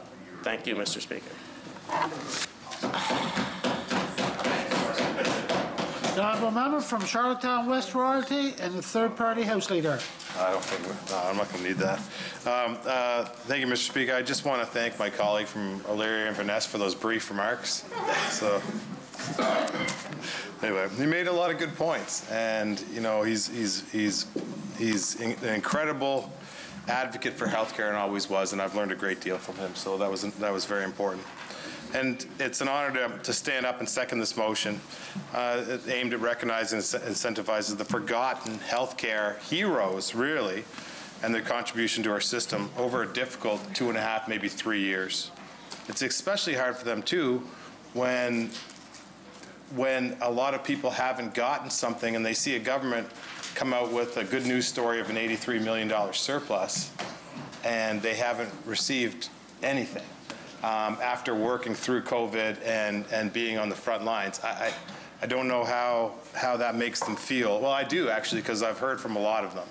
And, you know, heading into uh, union negotiation and, and, and, and Minister, I made sure during the standing committees, I asked almost two or three times in different ways, have you talked to the government? What do you mean, what do you mean you haven't talked to the government about an incentive? And they said clearly that they hadn't gotten to that point yet. So um, there, there's definitely some frustration. Uh, no matter your profession, health PEI staff have been asked to do more with less and in more challenging circumstances. This government has failed to appropriately thank their health PEI staff for their hard work.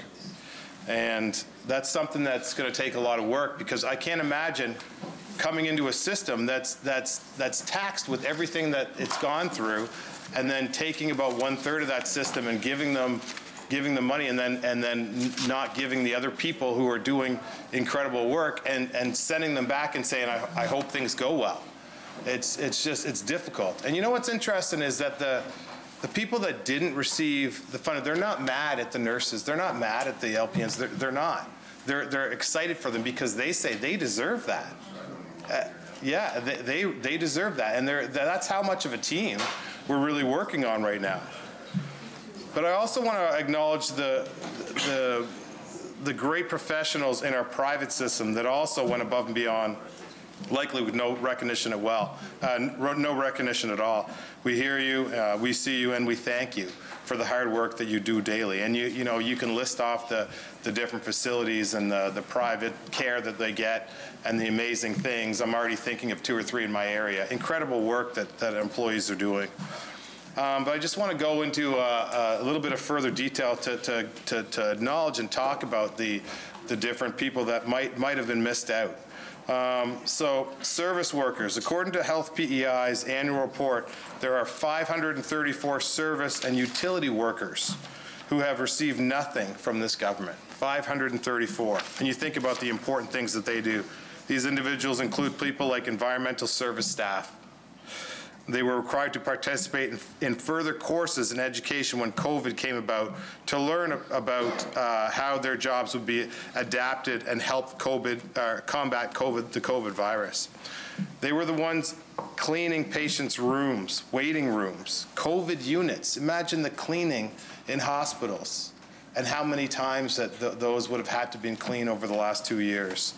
ICUs, operating rooms, and so much more to ensure that the environment, environments they were working in were cleaner than they could ever been to limit the trans transmission of the virus. They played crucial roles in ensuring our facilities' newly enhanced cleaning standards were adhered to. These staff also included the great work the porters do, nutritional service workers, how important nutrition is um, uh, to, to, uh, to people requiring help, maintenance staff, laundry service workers, and more all of whom were incredibly important. You know, we can't forget about the, the work that they do. The administrative workers, the ward clerks, the medical secretaries, nothing. Inventory and procurement professionals left out. All of these individuals were forgotten by this government and also were asked to do more with less. Oh, one minute left. Uh, they, were, they were crucial in our efforts in booking COVID vaccine appointments, helping patients navigate the system when we're completely ripped apart by COVID, and to support our frontline workers with numerous administrative tasks as they weren't done. They would, they would have our system lag behind even more. So I'll leave my rest of my notes for, for next time, uh, Mr. Uh, Mr. Speaker, but at this time, I'd like to adjourn debate. Seconded by uh, Tignish Palmer Road. Shall carry? The Honourable Minister of Agriculture, Land, Justice, Public Safety, Attorney General, and Deputy Premier. Uh, thank you, Mr. Speaker. Mr. Speaker, I move second by the member from Morell-Donagh that the 11th order of the day be now read. Shall carry? Carry. The Oh, yeah. Order number 11, an act to amend the Rental of Residential Property Act, number 2, bill number 80, in committee. The Honourable Minister of Agriculture, Land, Justice, Public Safety, Attorney General, and Deputy Premier. Thank you, Mr. Speaker. Mr. Speaker, I move second by the member from Morell-Donagh that this House do now resolve itself into committee of the whole House to take into consideration said bill. Shall it carry? The Honourable Member from Tignish, Palmer Road, Deputy Speaker, Chair of the Committee of the Whole House, please. Oh.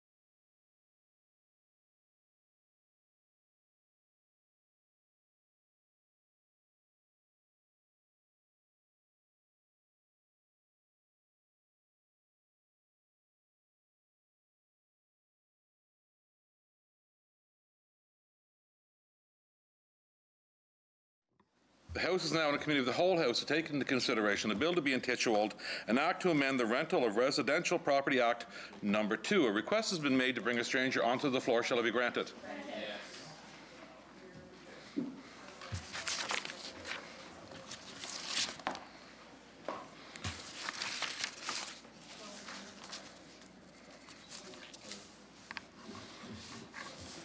Good afternoon. Would you please state your name and position for Hansard? Uh, yes, Vernon McIntyre, and I'm the Legislative Coordinator for Social Development and Housing. Thank you very much and welcome. Uh, so, honorable members, uh, we the floor uh, is open for general questions for the bill as a whole. Um, I still have my list from yesterday. I'm going to continue on with that. Um, again, because I have such a long list, I'm going to limit it to about five or six questions. So just keep that in mind. If you want to get back on the list, just let me know. Okay, Charlottetown Belvedere. Thank you, Chair. Um, I will keep my remarks short. Uh, the there was some discussion yesterday when we were on the floor with this bill about the um, need for stability, which is what I was speaking to, um, and the comments were um, as much for the future legislation as coming forward, because one of the risks with this that we're hearing from the community is um, if you bring in a zero now, we've obviously got an immediate impact for landlords and then long-term impact potentially for tenants. What are you going to do next year?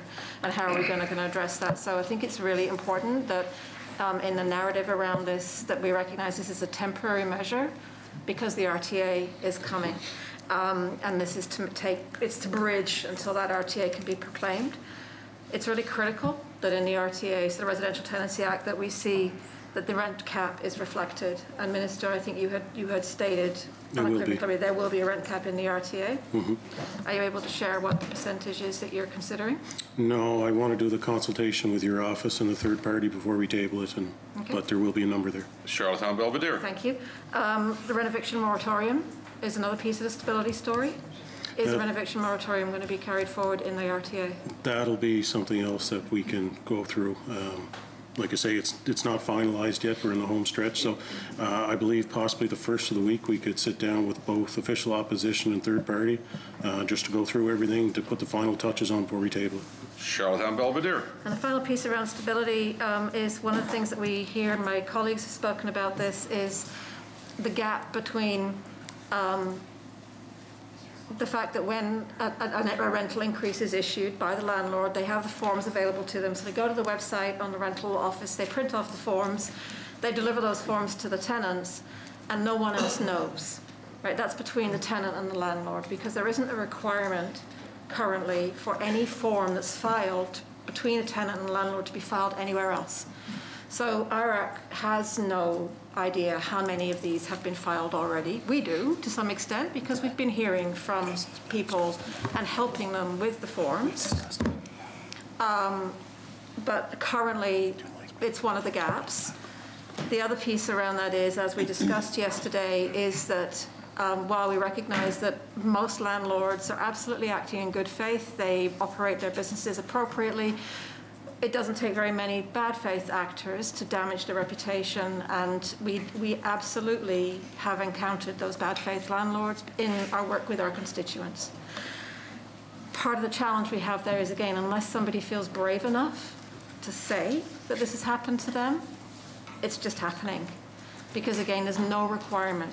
Um, so the other challenge that we have with this, it was raised by my colleague yesterday, for this particular amendment, Chair, is um, the, how important the communications is. And then the second piece is going forward, our rent control only works if everybody participates because we haven't legislated a requirement. We know that a rental registry is the way to do that most effectively. Will your department consider a rental registry, either now or in the future, to fill that gap? I'm going to let uh, Vernon speak on this because I know uh, himself and uh, other department members have been working on this, so. Okay, thank you. Sure. Well, and, and so the first, the, your first point towards um, filing a notice with IRAC, uh, as part of the home stretch the minister mentioned, we are looking at adding um, some wording in there that evictions will have to be filed with the director. Um, so we haven't got that quite finalized yet. I can't guarantee what the wording would say exactly, but we are looking at adding some wording in that evictions will have to be filed. Um, So that's, that is one, they're not with IRAC, really with the director. With- yeah. uh, With the director's office. So we, we're having that discussion, um, and I haven't got the final wording just yet. That is one of the final items that we're working on right now. Excuse me, in terms of a rental registry, um, I, I don't know, Minister, but uh, I don't think there's a, a, a thought process right now on a complete rental registry that would have, you know, all of the items in terms of rent, address, name. There's a lot of different work to be done on that area, and uh, I don't think, that's not currently anticipated for this act, for the RTA. But again, I, we're, yeah, Charlottetown Belvedere. Thank you. Uh, There is a rental registry currently. It has a 1,000 units registered in it, and it's been built entirely by volunteers, and it has exactly that information. It even has the receipts in a secure server associated with each record that provide the evidence of there being um, rents charged on a historical basis, and it's been used by tenants to get back almost $200,000 in illegally paid rent. So um, it was built in a weekend by volunteers um, and has been maintained for a year by volunteers. So we absolutely can do it. It's, it's, it's about whether we recognize why we need one. And, and, you know, this has been raised consistently with your predecessors and with your department that when we have rent control, but rent control is only as good as the enforcement of rent control. And if rent control relies on everybody to be acting in good faith, as soon as you have any actors in that space who are not acting in good faith, it stops working. And that is the case because we've had to return $200,000 in overcharged rent. And that's only in the 1,000 units out of the 19,000 units that are in PEI. Um, And so um, I know that this is, uh, the context, Chair, in this, for this, in this amendment is um, that none of these notices, we have no record anywhere that any of these notices have been served. I'm really excited to hear that you're going to require record, recording of evictions in the future, but we have to record everything. Uh, If we're not recording everything in an open and transparent way, we will continue to have failures, and tenants are in a power imbalance in that relationship. Tenants, if they complain, are going to lose their home.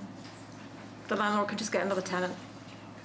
Right, so, so I, Minister, I know that you've heard this, but I Yes, think now you're in your new space. I think you're hearing it a different way than you might have heard it before. No, cer- certainly. I know it, it's been brought up, and my predecessor was working behind the scenes on this. I, I believe there um, is possibly a report uh, that, that was done, which I haven't seen yet, but I, I don't mind taking a look at it.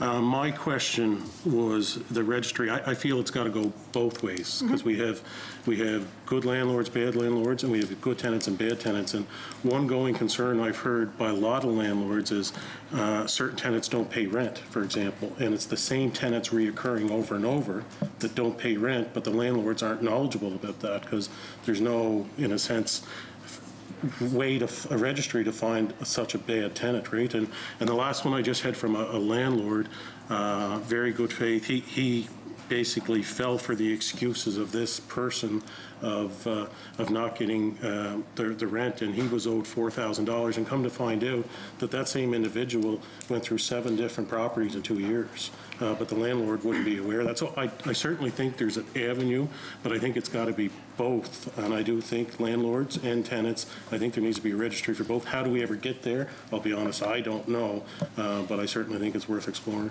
Charlottetown Belvedere. Thank you. I need to make a, a real clarification there, Minister. I'm not talking about a tenant, a landlord registry. It's never called a landlord registry. It's a rental registry. We don't actually, in a rental registry, record a landlord's name because it's not, the, the, the rent doesn't, isn't associated to a landlord. The rent's associated to the property. So if you look at the rental registry, it's by civic address. It actually uses a civic address registry to, to build. So there's never any mention of the landlord name, and they're not available to the public because that would be a, pri- a breach of privacy. Right. As, as would the same thing for a tenant. It's actually in breach of privacy laws to maintain a database like that. Uh, it's a federal offense. So, Yeah, so- the, so the rental registry, when there's a record of a landlord, it's not available to the public. It's in a separate secure server, and it only becomes available if somebody needs to go to court. And then what they do is they're provided with that, that data so they can go to court, which, which obviously is appropriate. But we need to be really clear. It's a difference between what we have here, which is fantastic in our legislation, is that the rent is associated with the property. So you don't need to have names associated. And what, what we're doing is trying to say that a tenant should be charged fairly. And I guess that's where I, I don't know enough on it, because I'm thinking it's not too hard. If the, if the civic address is there, you can get onto GeoLinc, punch in the civic address and find out who owns that property. So I would need to know a little more info on it, but I certainly don't mind sitting down and, and trying to get my head around it with you. Okay.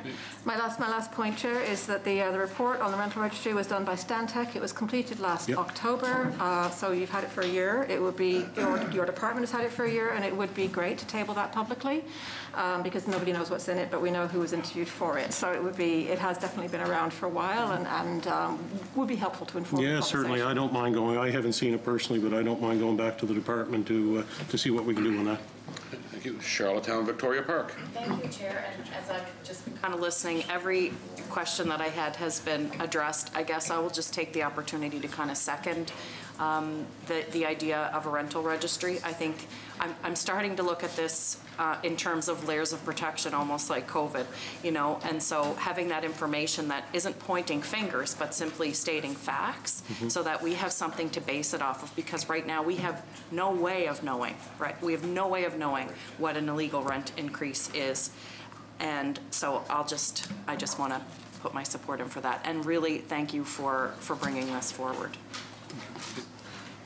Charlottetown Winslow. Thank you, Chair, and thank you, Minister, for uh, bringing this forward. Um, So I kind of started some questions yesterday, but um, I guess my first question would be, so how, how- you had mentioned that you're in the process of trying to let all of the landlords know.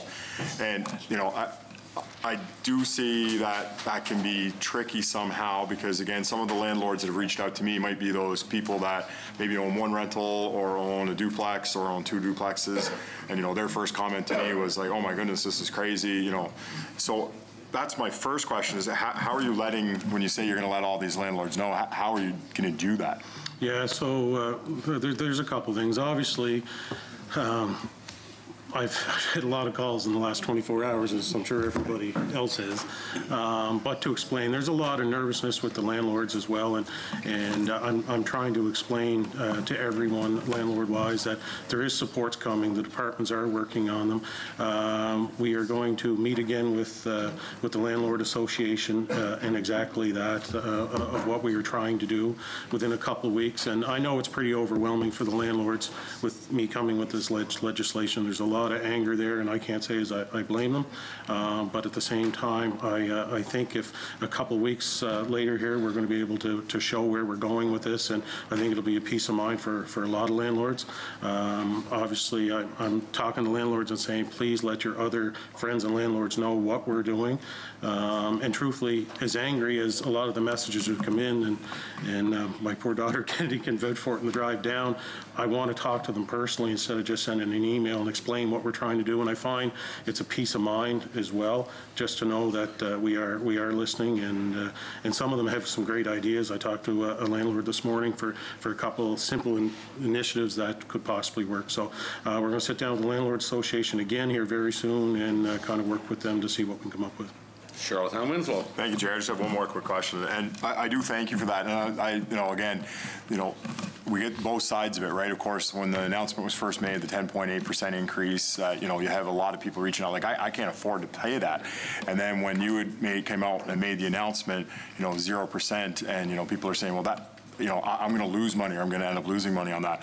So, and I also liked your idea of, you know, because again, sometimes we don't hear the stories of having, you know, some of the tenants, you know, that are maybe a little bit late or delinquent on some of their payments and everything. So, anyway, um, you know, my, my last question, sorry, Chair, to get to the point, I guess, having that zero percent, is that maybe something that might stop or slow down a development if, you know, someone had an idea of, you know, I was gonna put up a unit or I was planning to build a unit in the next little bit, but, you know, if I'm seeing that there's a zero percent rate increase, or maybe it won't affect a new unit, I don't know.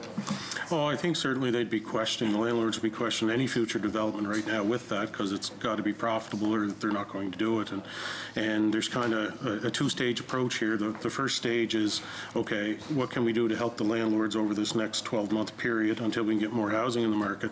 But the separate conversation we're having now is what we can do to incentivize developers and landlords to build. And, and over the coming weeks, you're going to see a very aggressive uh, development housing plan that the private sector, NGOs, municipalities can all uh, work towards to try and get housing in, in the market. Um, all along, I said it's going to be a, a, an approach where we need to work with absolutely everybody. Uh, the only way we're going to solve this is to put more housing in the market, and the only way to do that is incentivize absolutely uh, every contractor, developer, municipality, and NGO to work towards that, as well as government building themselves. Thank you. You're welcome. Okay, we're at the end of round one. We're going to move on to round two. Leader of the opposition. Thank you, Mr. Speaker. Uh, uh, sorry, Chair.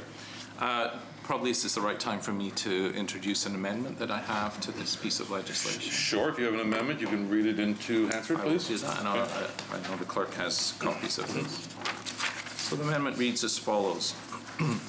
Move that Clause 1B of Bill 80 is amended by the addition of the following after the proposed subsection 22, parenthesis 2. Notice by lessor. Sub 3. Where a lessor has provided to a lessee a notice of a rent increase pursuant to Order LR 22-54 of the Commission that was stated to take effect in the period between January 1st, 2023 and December 21st, 2023, the lessor shall notify the lessee in writing and before January 21st, 2023, that the notice is of no force or effect. I can explain that, uh, Chair. Um, do you have a seconder for that? Oh, yes, uh, Summerside Beaumont. Thank you. And uh, so we'll have copies distributed to each member. Um, while that is being done, um, Leader of the Opposition, if you want to give just a brief explanation of why you put this uh, amendment forward.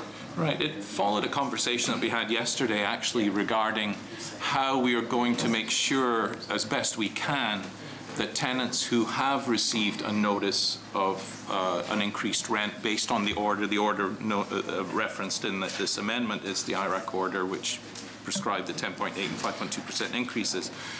Um, to, again, as best we can, ensure that those tenants will receive a second notice from the landlord notifying them that that first notice is now null and void.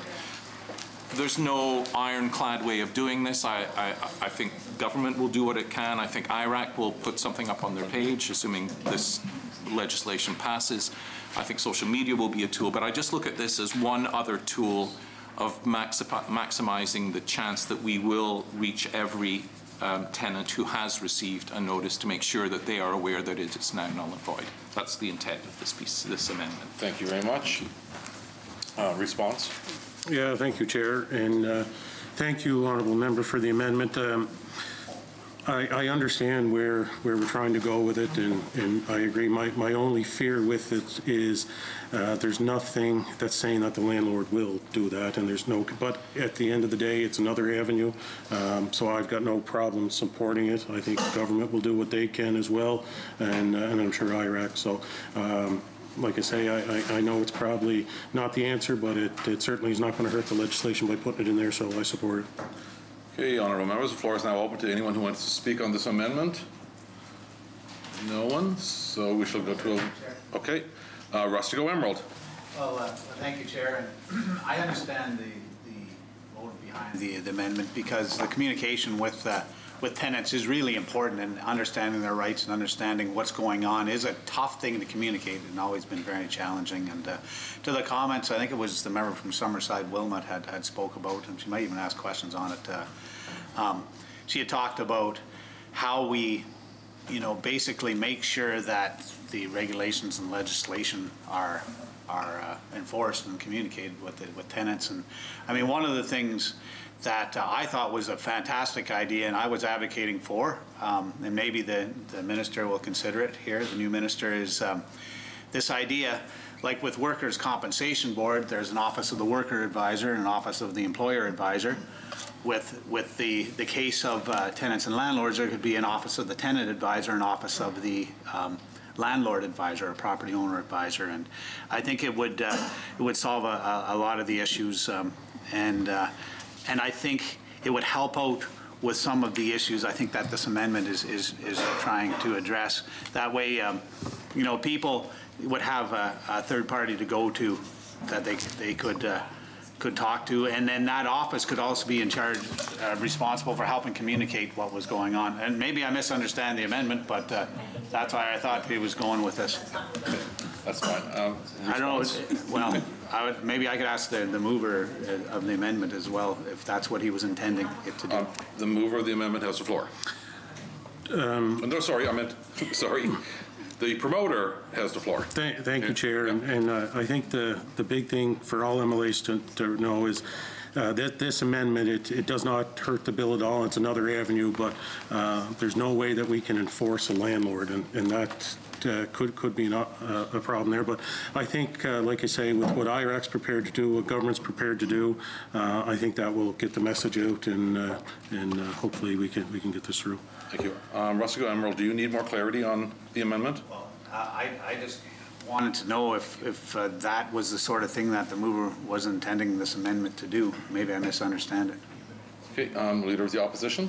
No, I, I can just reiterate what I said, which is that we're trying to bring forward as many mechanisms as are available to make sure that tenants who have received a notice, and this would only apply to landlords who have issued a notice of, of rent increase, to make sure that they are told subsequently that that initial notice is now null and void. It's not creating any layer of bureaucracy or anything like that, simply a paper form. Or, you know, depending on how tenants and landlords stay in contact, it could be something as simple as an email. Uh, it's just written communication before January the 1st. Okay, Rustico Emerald. Yes, no, and, and, and I, I think I do understand what you're saying, and, and in fact, that's, that's where I was going with this idea that um, outside of IRAC and outside of the Department of Social Development and Housing, there actually would be an office of the tenant advisor, for example.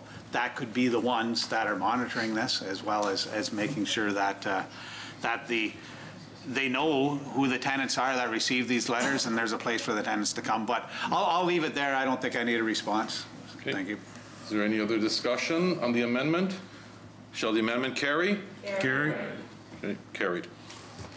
Now back to speaking, Leader of the Opposition, to, you have no more? Okay, so back to speaking to the um, bill as amended, Summerside Winslow. Sorry. Summerside Wilmot. Yeah, that's a big, that's a big, big one. Yeah, Um, yeah. The only other thing that I wanted to bring up, sorry, that was distracting. Um, The only other concern that I will raise is the same one that I raised in question period. I know that this will have an immediate effect of preventing the rent increases that are standard, 5.2, 10.8, but there's nothing that precludes every one of those landlords for, from applying for an above the allowable rent increase and then going through. So while I'm delighted this is happening, I couldn't be more supportive of this piece of legislation. I will just ask you to bring the RTA with urgency because we are going to see a tremendous amount of people who have already received rent increases now going through a second process and their rent is still going to go up. It's going to have the same effect. And I know you had said yesterday that you recognize that lots of landlords are indeed struggling, but also we can't afford to have all of these folks homeless. We still can't afford to have them homeless if they file a form, I think it's four. You know, we, we still can't afford to have them homeless, so I will ask that the RTA comes with urgency, and thank you for your work on this. Thank you. Thank you. Rustico Emerald.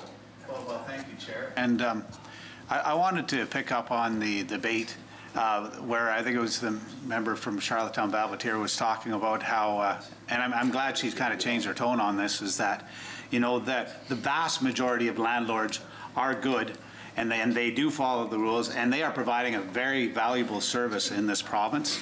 And um, in fact, they care a lot about their tenants. And I've talked to landlord after landlord after landlord who have, have said in, in the past, um, and you can look back over the history, they've been relatively uh, low uh, yearly allowable rent increases. They haven't even raised the rent for the tenants. They do care, and it really is a small uh, number of bad apples that spoil the barrel. And, um, and, and frankly, when I look at this 0% number, um, I, I scratch my head because uh, I don't understand why it couldn't be 1% or 2% or even 3%, because I really don't believe that landlords should have to shoulder um, the costs that have have increased primarily from, from heating costs due to inflation and and the price of, uh, of heating oil going, but also property tax increases. I really don't believe they should have to shoulder those costs alone. And the 0% sends a strong signal that, you know, the landlords are going to have to pay. Now, I know the minister has said on the floor that there's going to be some plans in the near future that, you know, we're somehow going to help landlords out, and I, and I hope there are. But I think the 0% number um, treats all tenants the same, treats all landlords the same, and, and sends the wrong message uh, to, to landlords about the value that they add in our system. I mean, I really believe that um, when it comes to, to rental units, that the, our, our private uh, landlords do a, a fantastic job, and in, in many cases, do it in a very efficient fashion. We could argue all day about whether they do it more efficiently than government. I think they probably do. And I think that this 0% increase adds a significant risk that landlords, well, frankly, they'll get out of the rental business. And uh, whether that means government is growing and getting more into the rental business, which would be less efficient, or we'll see the number of rental units on the island reduced, I think it's a bad thing. And I, I have, I really have a hard time, you know, supporting a bill that uses that 0% number. I want to know from the minister, why didn't you use the number, like say 3%? I think up to 3% would be a much more reasonable thing to do. Uh, Thank you uh, for your statement, honorable member. So uh, obviously that was looked at, and, and we do feel that uh, we can fulfill uh, the, the big gap on the landlords with programs. We've heard what the issues are on the programming side, and uh, uh, we've listened loud and clear, and we feel that, uh, that we can work towards fulfilling that. Obviously, there is a fear on the landlords um, just getting fed up with being in the rental business, but I'm quite confident with the programs that we're rolling out, that's going to get them through the next 12 months, but also uh, the initiatives uh, that's going to help them to develop further, uh, get the RTA through, and uh, get a, a long-term vision of how uh, how this looks for the province. So uh, I know uh, it's pretty overwhelming for them right now, but uh, I'm quite confident in the next couple of weeks when we roll out some programs, it's uh, it's going to uh, help them get through this and uh, move on to uh, to expanding and growing. Okay. O'Leary Inverness. Uh, Thanks, uh, Chair. Uh, You know, I- been listening to the debate and uh, following it as best I can, and I've had a lot of uh, of uh, constituents reach out to me uh, uh, over the evening, last night, and things of that nature. And I I have a, my biggest challenge with all of this is that you're overruling an independent body in setting up what their decision was. Now, I- the problem, and- what some of the landlords are telling me, or the developers are telling me, is that it sets a precedence that how are you going to get back out of that? If you do it once, you can do it twice or three times or whatever. And uh, so, so then it, it then it's, it's saying to them as developers, I can't control uh, a reasonable or get a reasonable shake in uh, pitching my idea to develop a project or what the rent should be. And I, I was of the assumption a little bit on yesterday that there was going to be something in the capital budget. I wasn't sure how that was going to work that would state there was something here to, to make that happen. And I don't see that. I, I mean, I, I see there's money for housing in the capital budget. But you're asking me to support something that's going to help landlords, you're going to do something with landlords, but I have no idea what it is. Why, why isn't there a, a, a program that says, you vote for this, I can understand that, I can talk to my landlords uh, in the, the Rhineful area in Inverness and see what they think. Now it's a complete leap of faith that you're going to deliver something. So is there a reason why you didn't make this announcement uh, at the same time as you're trying to pass this bill? Thanks for the question, honorable member. So the legislation in front of you today is uh, to put a 0% freeze so tenants' rates don't go up. Yeah, it's got nothing to do with landlords and the programming. Um, So the joys of being elected member, you have a free vote, and you're going to vote on your conscience and what you think's best for your riding of O'Leary Inverness, like you always do. Um, So what I can say is that we intervene, not that we want to intervene, but there would be hundreds of people on the street without housing. And God forbid it ever happen that somebody uh, passes away or something tragic happens because they didn't have a home, knowing that we could have done something about it. Um, And that's where we're at today. I didn't take this decision lightly. And I know I'm not very popular with the landlords right now because of it, um, but I assure them there is programs coming. We need landlords and developers to get us out of this situation that I said yesterday that government has caused. And we will strive towards that, and I'm quite confident with the programs that we're going to roll out is going to help the landlords with the faces and the challenges they're facing right now. O'Leary Inverness. But see, some of the challenges you're dealing with here, you're dealing with the capital budget, you're dealing with the the legislation that is saying January 1st. If you're doing something that's going to be beyond into the next fiscal year, uh, your, your increases starting here January 1st. You're not going to probably have any real significant programs that are going to come out until next fiscal year. I'm just kind of, that's an assumption. And, and my argument would be why I'm saying that is that if you were have the money in this fiscal year, why didn't you make that announcement uh, tomorrow, today, yesterday, uh, you know, whatever? So we, I would have something to gauge this on. So I'm going to assume that the rental increases are going to be to the, or that there's going to be no rental increases come January 1st. You're not going to have any uh, help for, for developers, landlords until into April. Uh, you know, that, that's a problem that I, I'm sort of faced with on all of this. And, and you're right, I do have the, to vote my conscience on this in that regard. But I just want to fundamentally say that when you overrule a regulatory body, you're, you're going on a slippery slope as a government. And uh, it makes you wonder why they would even want to do the duties that they do. And then it's also the pressure is going to be put on you for every other commodity or issue that they regulate. It's going to say, well, why, why, aren't, why isn't government intervening on this one? Because I would argue fuel prices going up is, is a significant impact on everybody as well. So, uh, so that's, that's where I sort of see in this. And I've got developers in my district are saying, because if you're overruling the regulatory body on this, I'm not going to uh, proceed with my project. Now, you, you might be able to provide some incentives later on down the road, but that's a leap of faith for me as a constituent, or as an MLA representing constituents. So I just wanted to put that on the record, that that's my biggest concern. I, I'm all for tenants, and I don't want to see people going out. One landlord was saying to me, he's been a good landlord, he hasn't done the increases over the years to mm-hmm. maybe what was allowable. Now he's left with, now the- his costs have gone up quite a bit. He would like to have put in the rent up, now he can't even get anything on that. And he's, he's a good landlord, he's got good buildings, and he's left now, you know, having to eat this somehow. And I don't know what your projects of, uh, or funding is going to be to incentivize him, but he, he probably doesn't have to do a whole lot of renovation, He doesn't have to do a whole lot. I don't know what could be there for him, so, and I would have been supportive of rent supplements. If you were doing that, then, then, then the province of PEI, the taxpayers of PEI are bearing that burden. And we supplement the rent, everybody kind of comes out of that a better winner, I think, than what, you- what you're proposing here. So I just wanted to put that on the record, Chair, and uh, I'm going to have a hard time supporting this, but we'll see, we'll see as the vote goes on here. Thank you very much, O'Leary Inverness. Um, so I also have a question, a few questions too, and it's very similar to the same concerns that O'Leary Inverness has. And um, I know you said that there's no relation between the um, uh, the landlords and this bill, but there really is. For me to have the confidence to vote for it, I need to know what incentives are going to be there for the landlords, uh, for the property owners, in order to support this. To be quite honest, and that's that's where I struggle. So what I can tell you, every landlord that I've talked to, there's four issues. The price of fuel, the price of property tax, uh, insurance, and mortgage. Interest rates going up in renewable mortgage.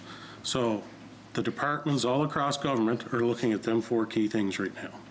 And while this sitting of the legislature, we will be coming out with programs. Landlords will not be waiting until April, and we have departments that are working on all this right now. And uh, once I have some info that I can be able to provide, we cer- certainly will. But our main focus right now is to make sure that nobody goes homeless and that the landlords do not go broke uh, with this uh, 0% uh, and no increase. So that's what we're striving for, and uh, we are going to get there. Okay, thank you. I- And I do have confidence in you, and your, in what you say. Um, I take you for your word. Uh, You haven't let me down in the past, so I have to, to use that in my equation. But again, there's nothing, you know, it's, there's nothing right there in, in writing for it. So um, I have, you, you talked about the landlords and that. Did you, and I, and I might have missed this earlier, I was trying to pay attention to it all, but did you speak to the Residential Rental Association of Prince Edward Island and because I I guess they advocate for all um, landlords on Prince Edward Island. Yes. And what was their feedback other than those four that you just said? Yeah, Anything else? I've, I've met with them on two occasions. Um, Obviously, they were pushing for the 10.8% increase. Um, They made some great points in both meetings. Uh, There's no doubt in my mind they're incurring significant costs with the cost of inflation and everything we've talked about. Um, Their margins are tight with the 1% every year. Uh, Probably hasn't been enough, and we've seen exactly why the 10.8 has come into effect that's created the, the- the problem. Um, So everything they say is 100% accurate, and uh, I, I don't believe the statement when I hear landlords got too much money, or every landlord is different. Uh, I've talked to uh, large landlords, and I've talked to small landlords. I had a conversation uh, with a, with a gentleman this morning that only has one duplex unit. Uh, His, uh, him and his spouse both work, and they're just trying to pay the bills on it, right? They're not looking to make money, they're just trying to pay the mortgage and keep it afloat. So every landlord is different, but all the issues are the same. So them four issues I've brought up, doesn't matter big or small, them are all the issues, and this is what we're working towards to, to help. Okay, thank you. And I, and I did hear from landlords too, um, that the, um, of, of- the similar concerns, um, many of them were a little bit um, concerned of the impact of, that this may have um, on their um, units that they have now. I've had some, or even the way this whole, this whole um, rental is going, they had concerns. I had one in, in my area who didn't want to deal with this and sold 32 apartments. Um, And I have others who, right now, are uncertain whether they want to, to, to build, um, just because of that uncertainty. So I, I do struggle with that. Um, I do appreciate your explanation on this. I do understand from the rental uh, perspective, um, you know, with inflation and, but it's the unknowns, and it's the unknowns with the the impact it will have on the landlords um, that I, I really struggle with. So um, next on the list, I have Tyne Valley Sherbrooke.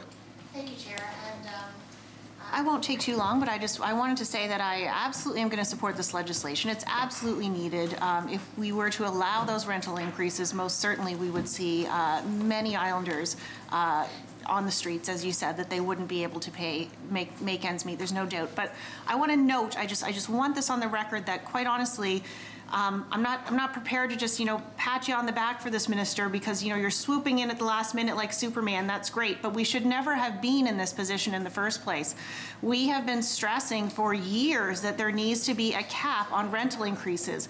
And what has happened as a result, we didn't put that cap, didn't put that cap, and boom, look what happened. We had this uh, outrageous number come from IRAC that at a time when people absolutely can't afford it.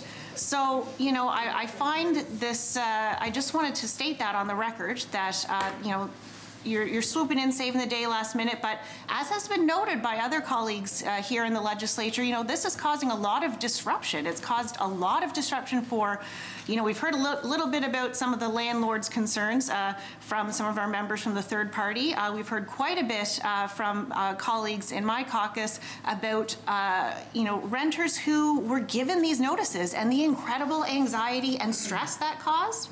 And, you know, I'm glad that we passed the amendment to, to ensure, to do everything we can to ensure they'll know that's not going to happen. But I just, uh, I wanted to stress that, well, I'm glad this is happening. I'm glad this, you're bringing this legislation. It, we should never, ever have been in this position. And I find it very frustrating that we are. Yeah.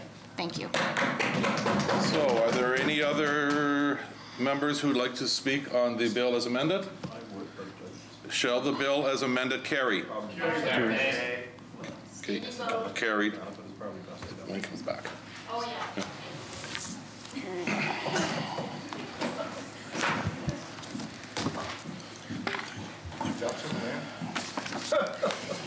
Get that man, Kate. Mm-hmm.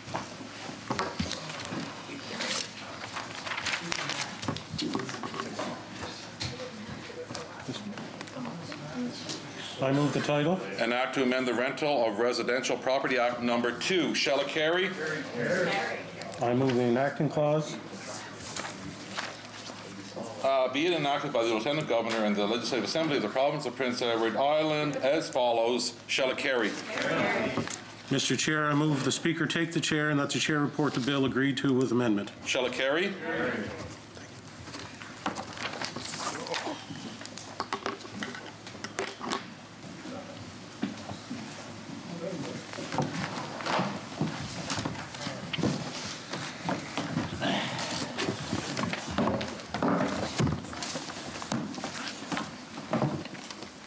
Mr. Speaker, as Chair of the Committee of the Whole House, having under consideration the bill to be entitled An Act to Amend the Rental of Residential Property Act Number 2, I beg leave to report that the committee has gone through the said bill and has agreed the same with amendment. I move that the report of the committee be adopted. Shall carry. Standing vote. Honorable members, Sergeant Arms, you may ring the bell.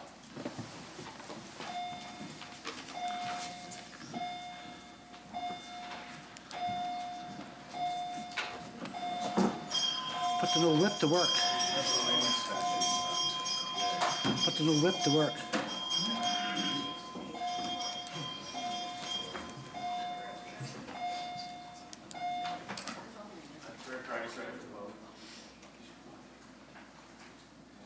Uh, government's ready for the vote. The opposition is ready for the vote. Honorable members, those voting against the bill, please stand. As amended. The honourable member from Rustico Elmer, uh, Emerald, pardon me.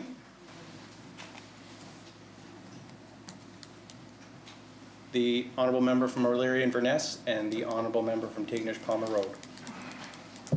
Those voting for the bill, please stand.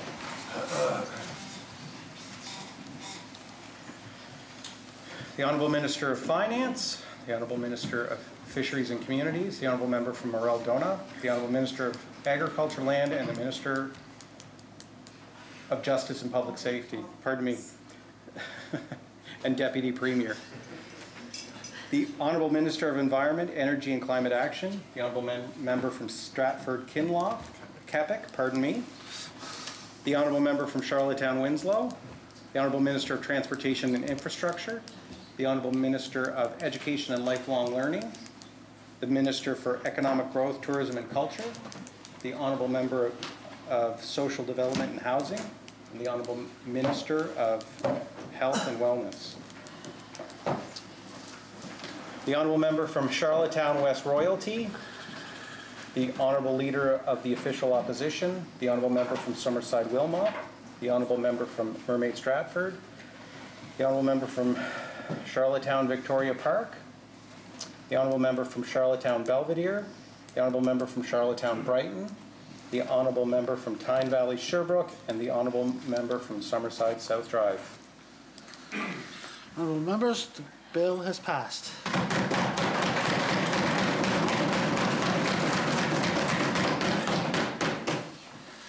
The Honorable Minister of Agriculture, Land, Justice, Public Safety, Attorney General, Deputy Premier. Thank you, Mr. Speaker. Mr. Speaker, I move seconded by the Minister of uh, Environment, Energy and Climate Action that the 20th order of the day be now read. Shall it carry? Order number 20, Miscellaneous Statute Amendment Act 2022, Number 2, Bill Number 75, ordered for second reading. The Honorable Minister of Agriculture, Land, Minister of Justice, Public Safety, Attorney General, and Deputy Premier. Thank you, Mr. Speaker. Mr. Speaker, I move seconded by the Minister of Environment, Energy and Climate Action that this House do now resolve itself into Committee of the Whole House to take into consideration said bill. It carry? The Honorable Member from Tignish Palmer Road, Deputy Speaker, to chair the Committee of the Whole House, please. I thought we did. Oh, I'm sorry. I thought it was the second.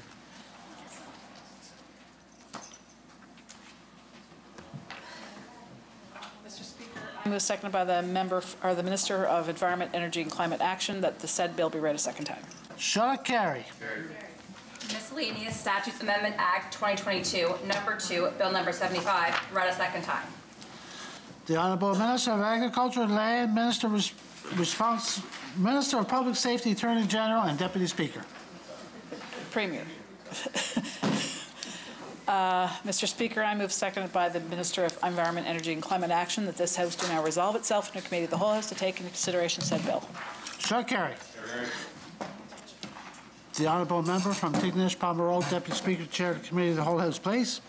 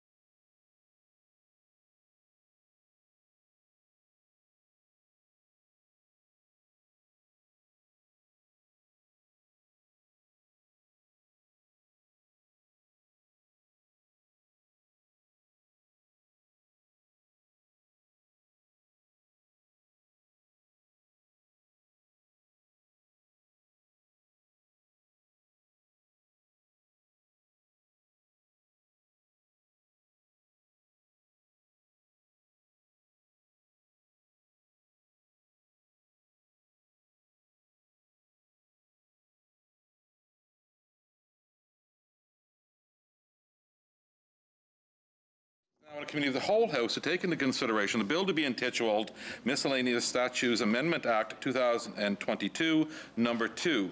A request has been made to bring a stranger onto the floor. Shall it be granted?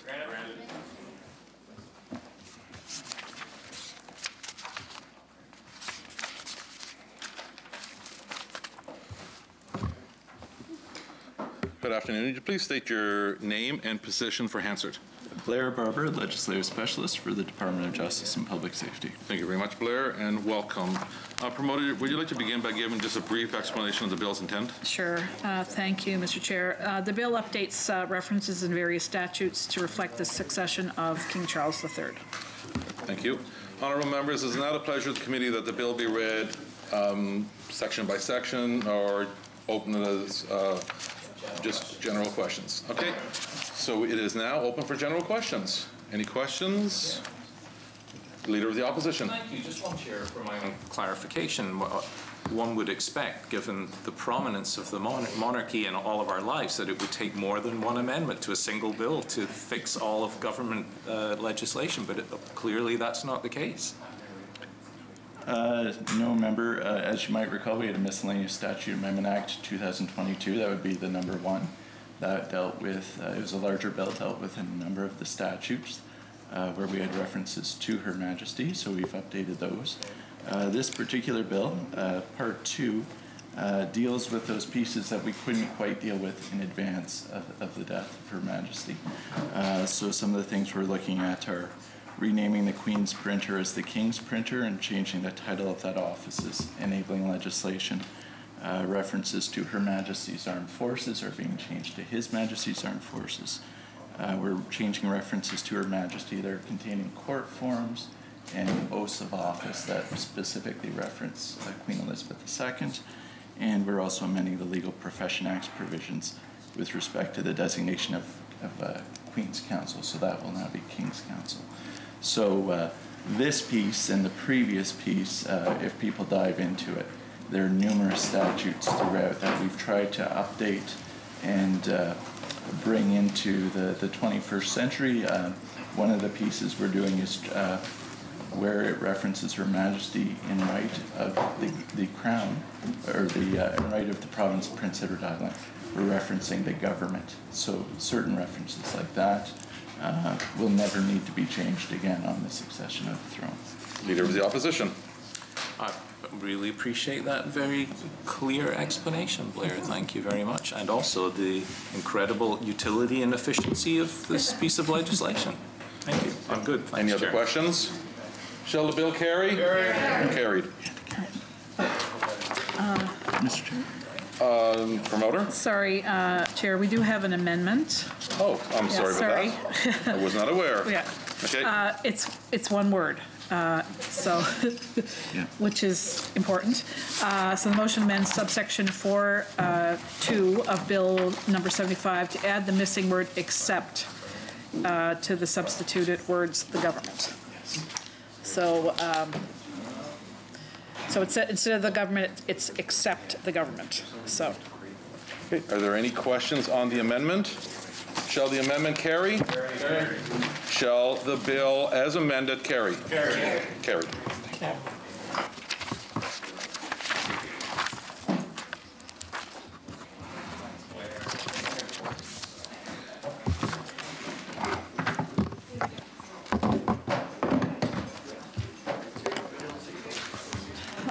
title.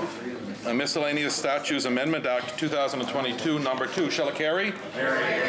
I move the the enacting clause. Be it enacted by the Lieutenant Governor and the Legislative Assembly of the Province of Prince Edward Island as follows. Shall it carry?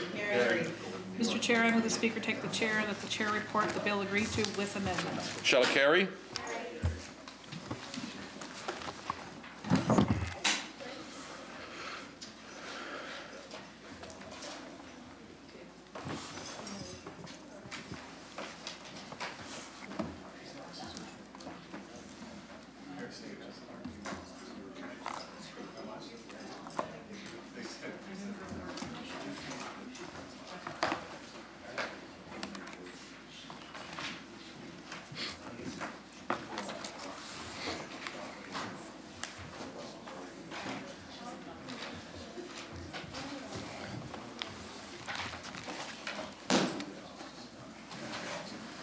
Speaker, as Chair of the Committee of the Whole House having under consideration the bill to be intituled Miscellaneous Statutes Amendment Act 2022 Number 2, I beg leave to report that the committee has gone through the said bill and has agreed to same with amendment. I move that the report of the committee be adopted. Shall it carry?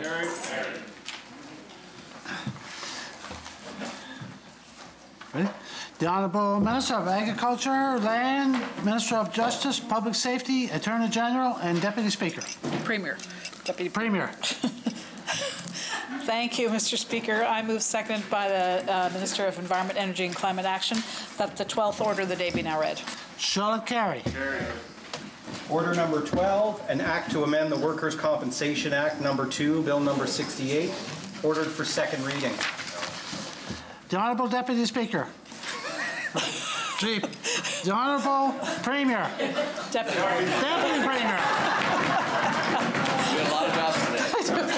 Having a bad day. Mr. Speaker, I move seconded by the Minister of Environment, Energy and Climate Action that the said bill be read a second time. Shall it carry? Bill number 68, an act to amend the Workers' Compensation Act, number 2, read a second time. The Honorable Deputy Premier.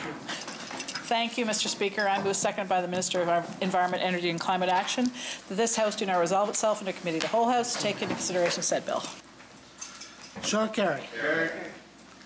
The Honorable Member from Tignish, Palmer Road, Deputy Speaker, Chair of the Committee of the Whole, please.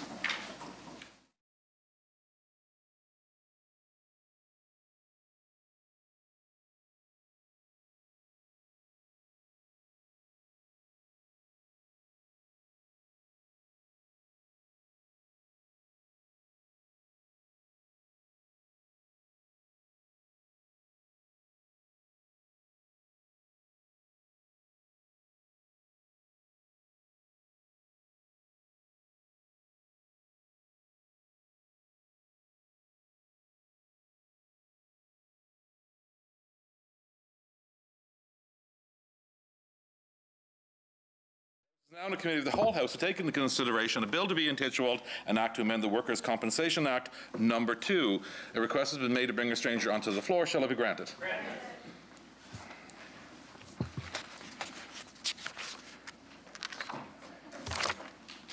Good afternoon. Would you please state your name and title for Hansard? Stephen Carpenter, Senior Legal Advisor with the Workers' Compensation Board. Thank you, Stephen, and welcome. Uh, Thank Promoter, you. would you like to begin by giving a brief statement on the bill's intent? Sure. Uh, The proposal is to enhance benefits for injured workers, increasing the cap on the CPI adjustments from 4 to 6 percent, increasing wage loss replacement from 85 to 90, and changing the way we calculate minimal uh, insurable earnings, and expanding the coverage for final expenses. Thank you very much, honourable members. Um, Would you now like to have the bill read clause by clause, section by section, or open it up for general questions? General questions? Tyne Valley, Sherbrooke. Thank you, Chair. Um, So, and uh, I'm very uh, looking forward to discussing this uh, bill and getting some, uh, I have a couple of questions, um, certainly. Uh, One of the things I've raised in the past around um, CPI increases and the impact on injured workers is that um, we've seen this, this change over time, right? So this isn't the first time that we've adjusted, or that government has adjusted the uh, percentage uh, increase uh, of CPI over the years. So can you just tell me a little bit about um, sort of what other adjustments have been made in the past? I mean, we're, at, we're, you're moving this up to 90. Um, You know, how much has this changed over the years, this percent? Do you want me to? Um, I believe it started somewhere in the range of 75% of net um, earnings. It's moved to 80. uh, Most recently, it's 85. And with this proposed amendment, it would move uh, to 90%. Just for a little bit of context, we would be the first jurisdiction in Atlantic Canada to move to 90% of, of benefits, of um, pre-accident earnings.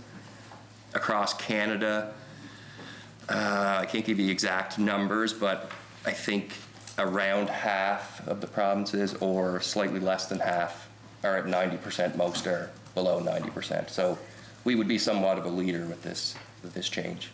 Tyne Valley, Sherbrooke. Thank you, Chair. And, you know, I, again, it's certainly good to see an increase uh, in, in, in in benefits, this indexed increase uh, uh, to 90% of, of wages. Uh, But, I- you know, I do have to note, I mean, you know, we, you you noted that this is, we would be the first Atlantic Canadian province. But I, I've always, I find it strange that we, you know, not strange, really unacceptable that we, we are still going at less than 100%, honestly. I mean, we're talking about workers who were injured, you know, at their, at their job, you know, doing their job, doing just, you know, and their, their wage uh, ability to earn has been impacted, you know, sometimes for years, sometimes for the rest of their life, right? So, you know, maybe just to, to question to the minister, I mean, do you feel that, you know, does, what does this say really about how we value those workers? Uh, Is, is, is an injured worker worth, you know, 90% of a person? Call the hour. The hour has been called. Ten more seconds.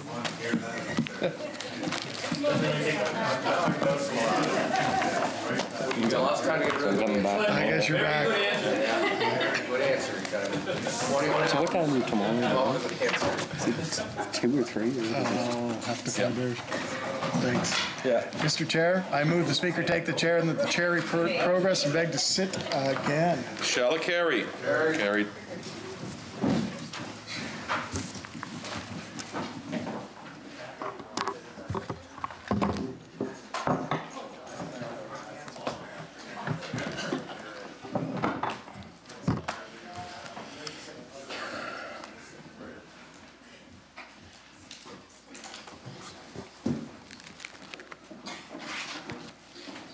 Speaker, as Chair of the Committee the Whole House having under consideration a bill to be intituled an act to amend the Workers' Compensation Act Number Two, I beg leave to, beg leave to report that the committee has made some progress and begs leave to sit again. I move that the report of the committee be adopted. It carry? The honourable member from Morell, Donagh, and the government House Leader. Thank you, Mr. Speaker. Mr. Speaker, I move, uh, seconded by the Minister of Finance, that this House adjourn until November 3rd at 1 o'clock in the PM. Shall it carry? Have a good evening.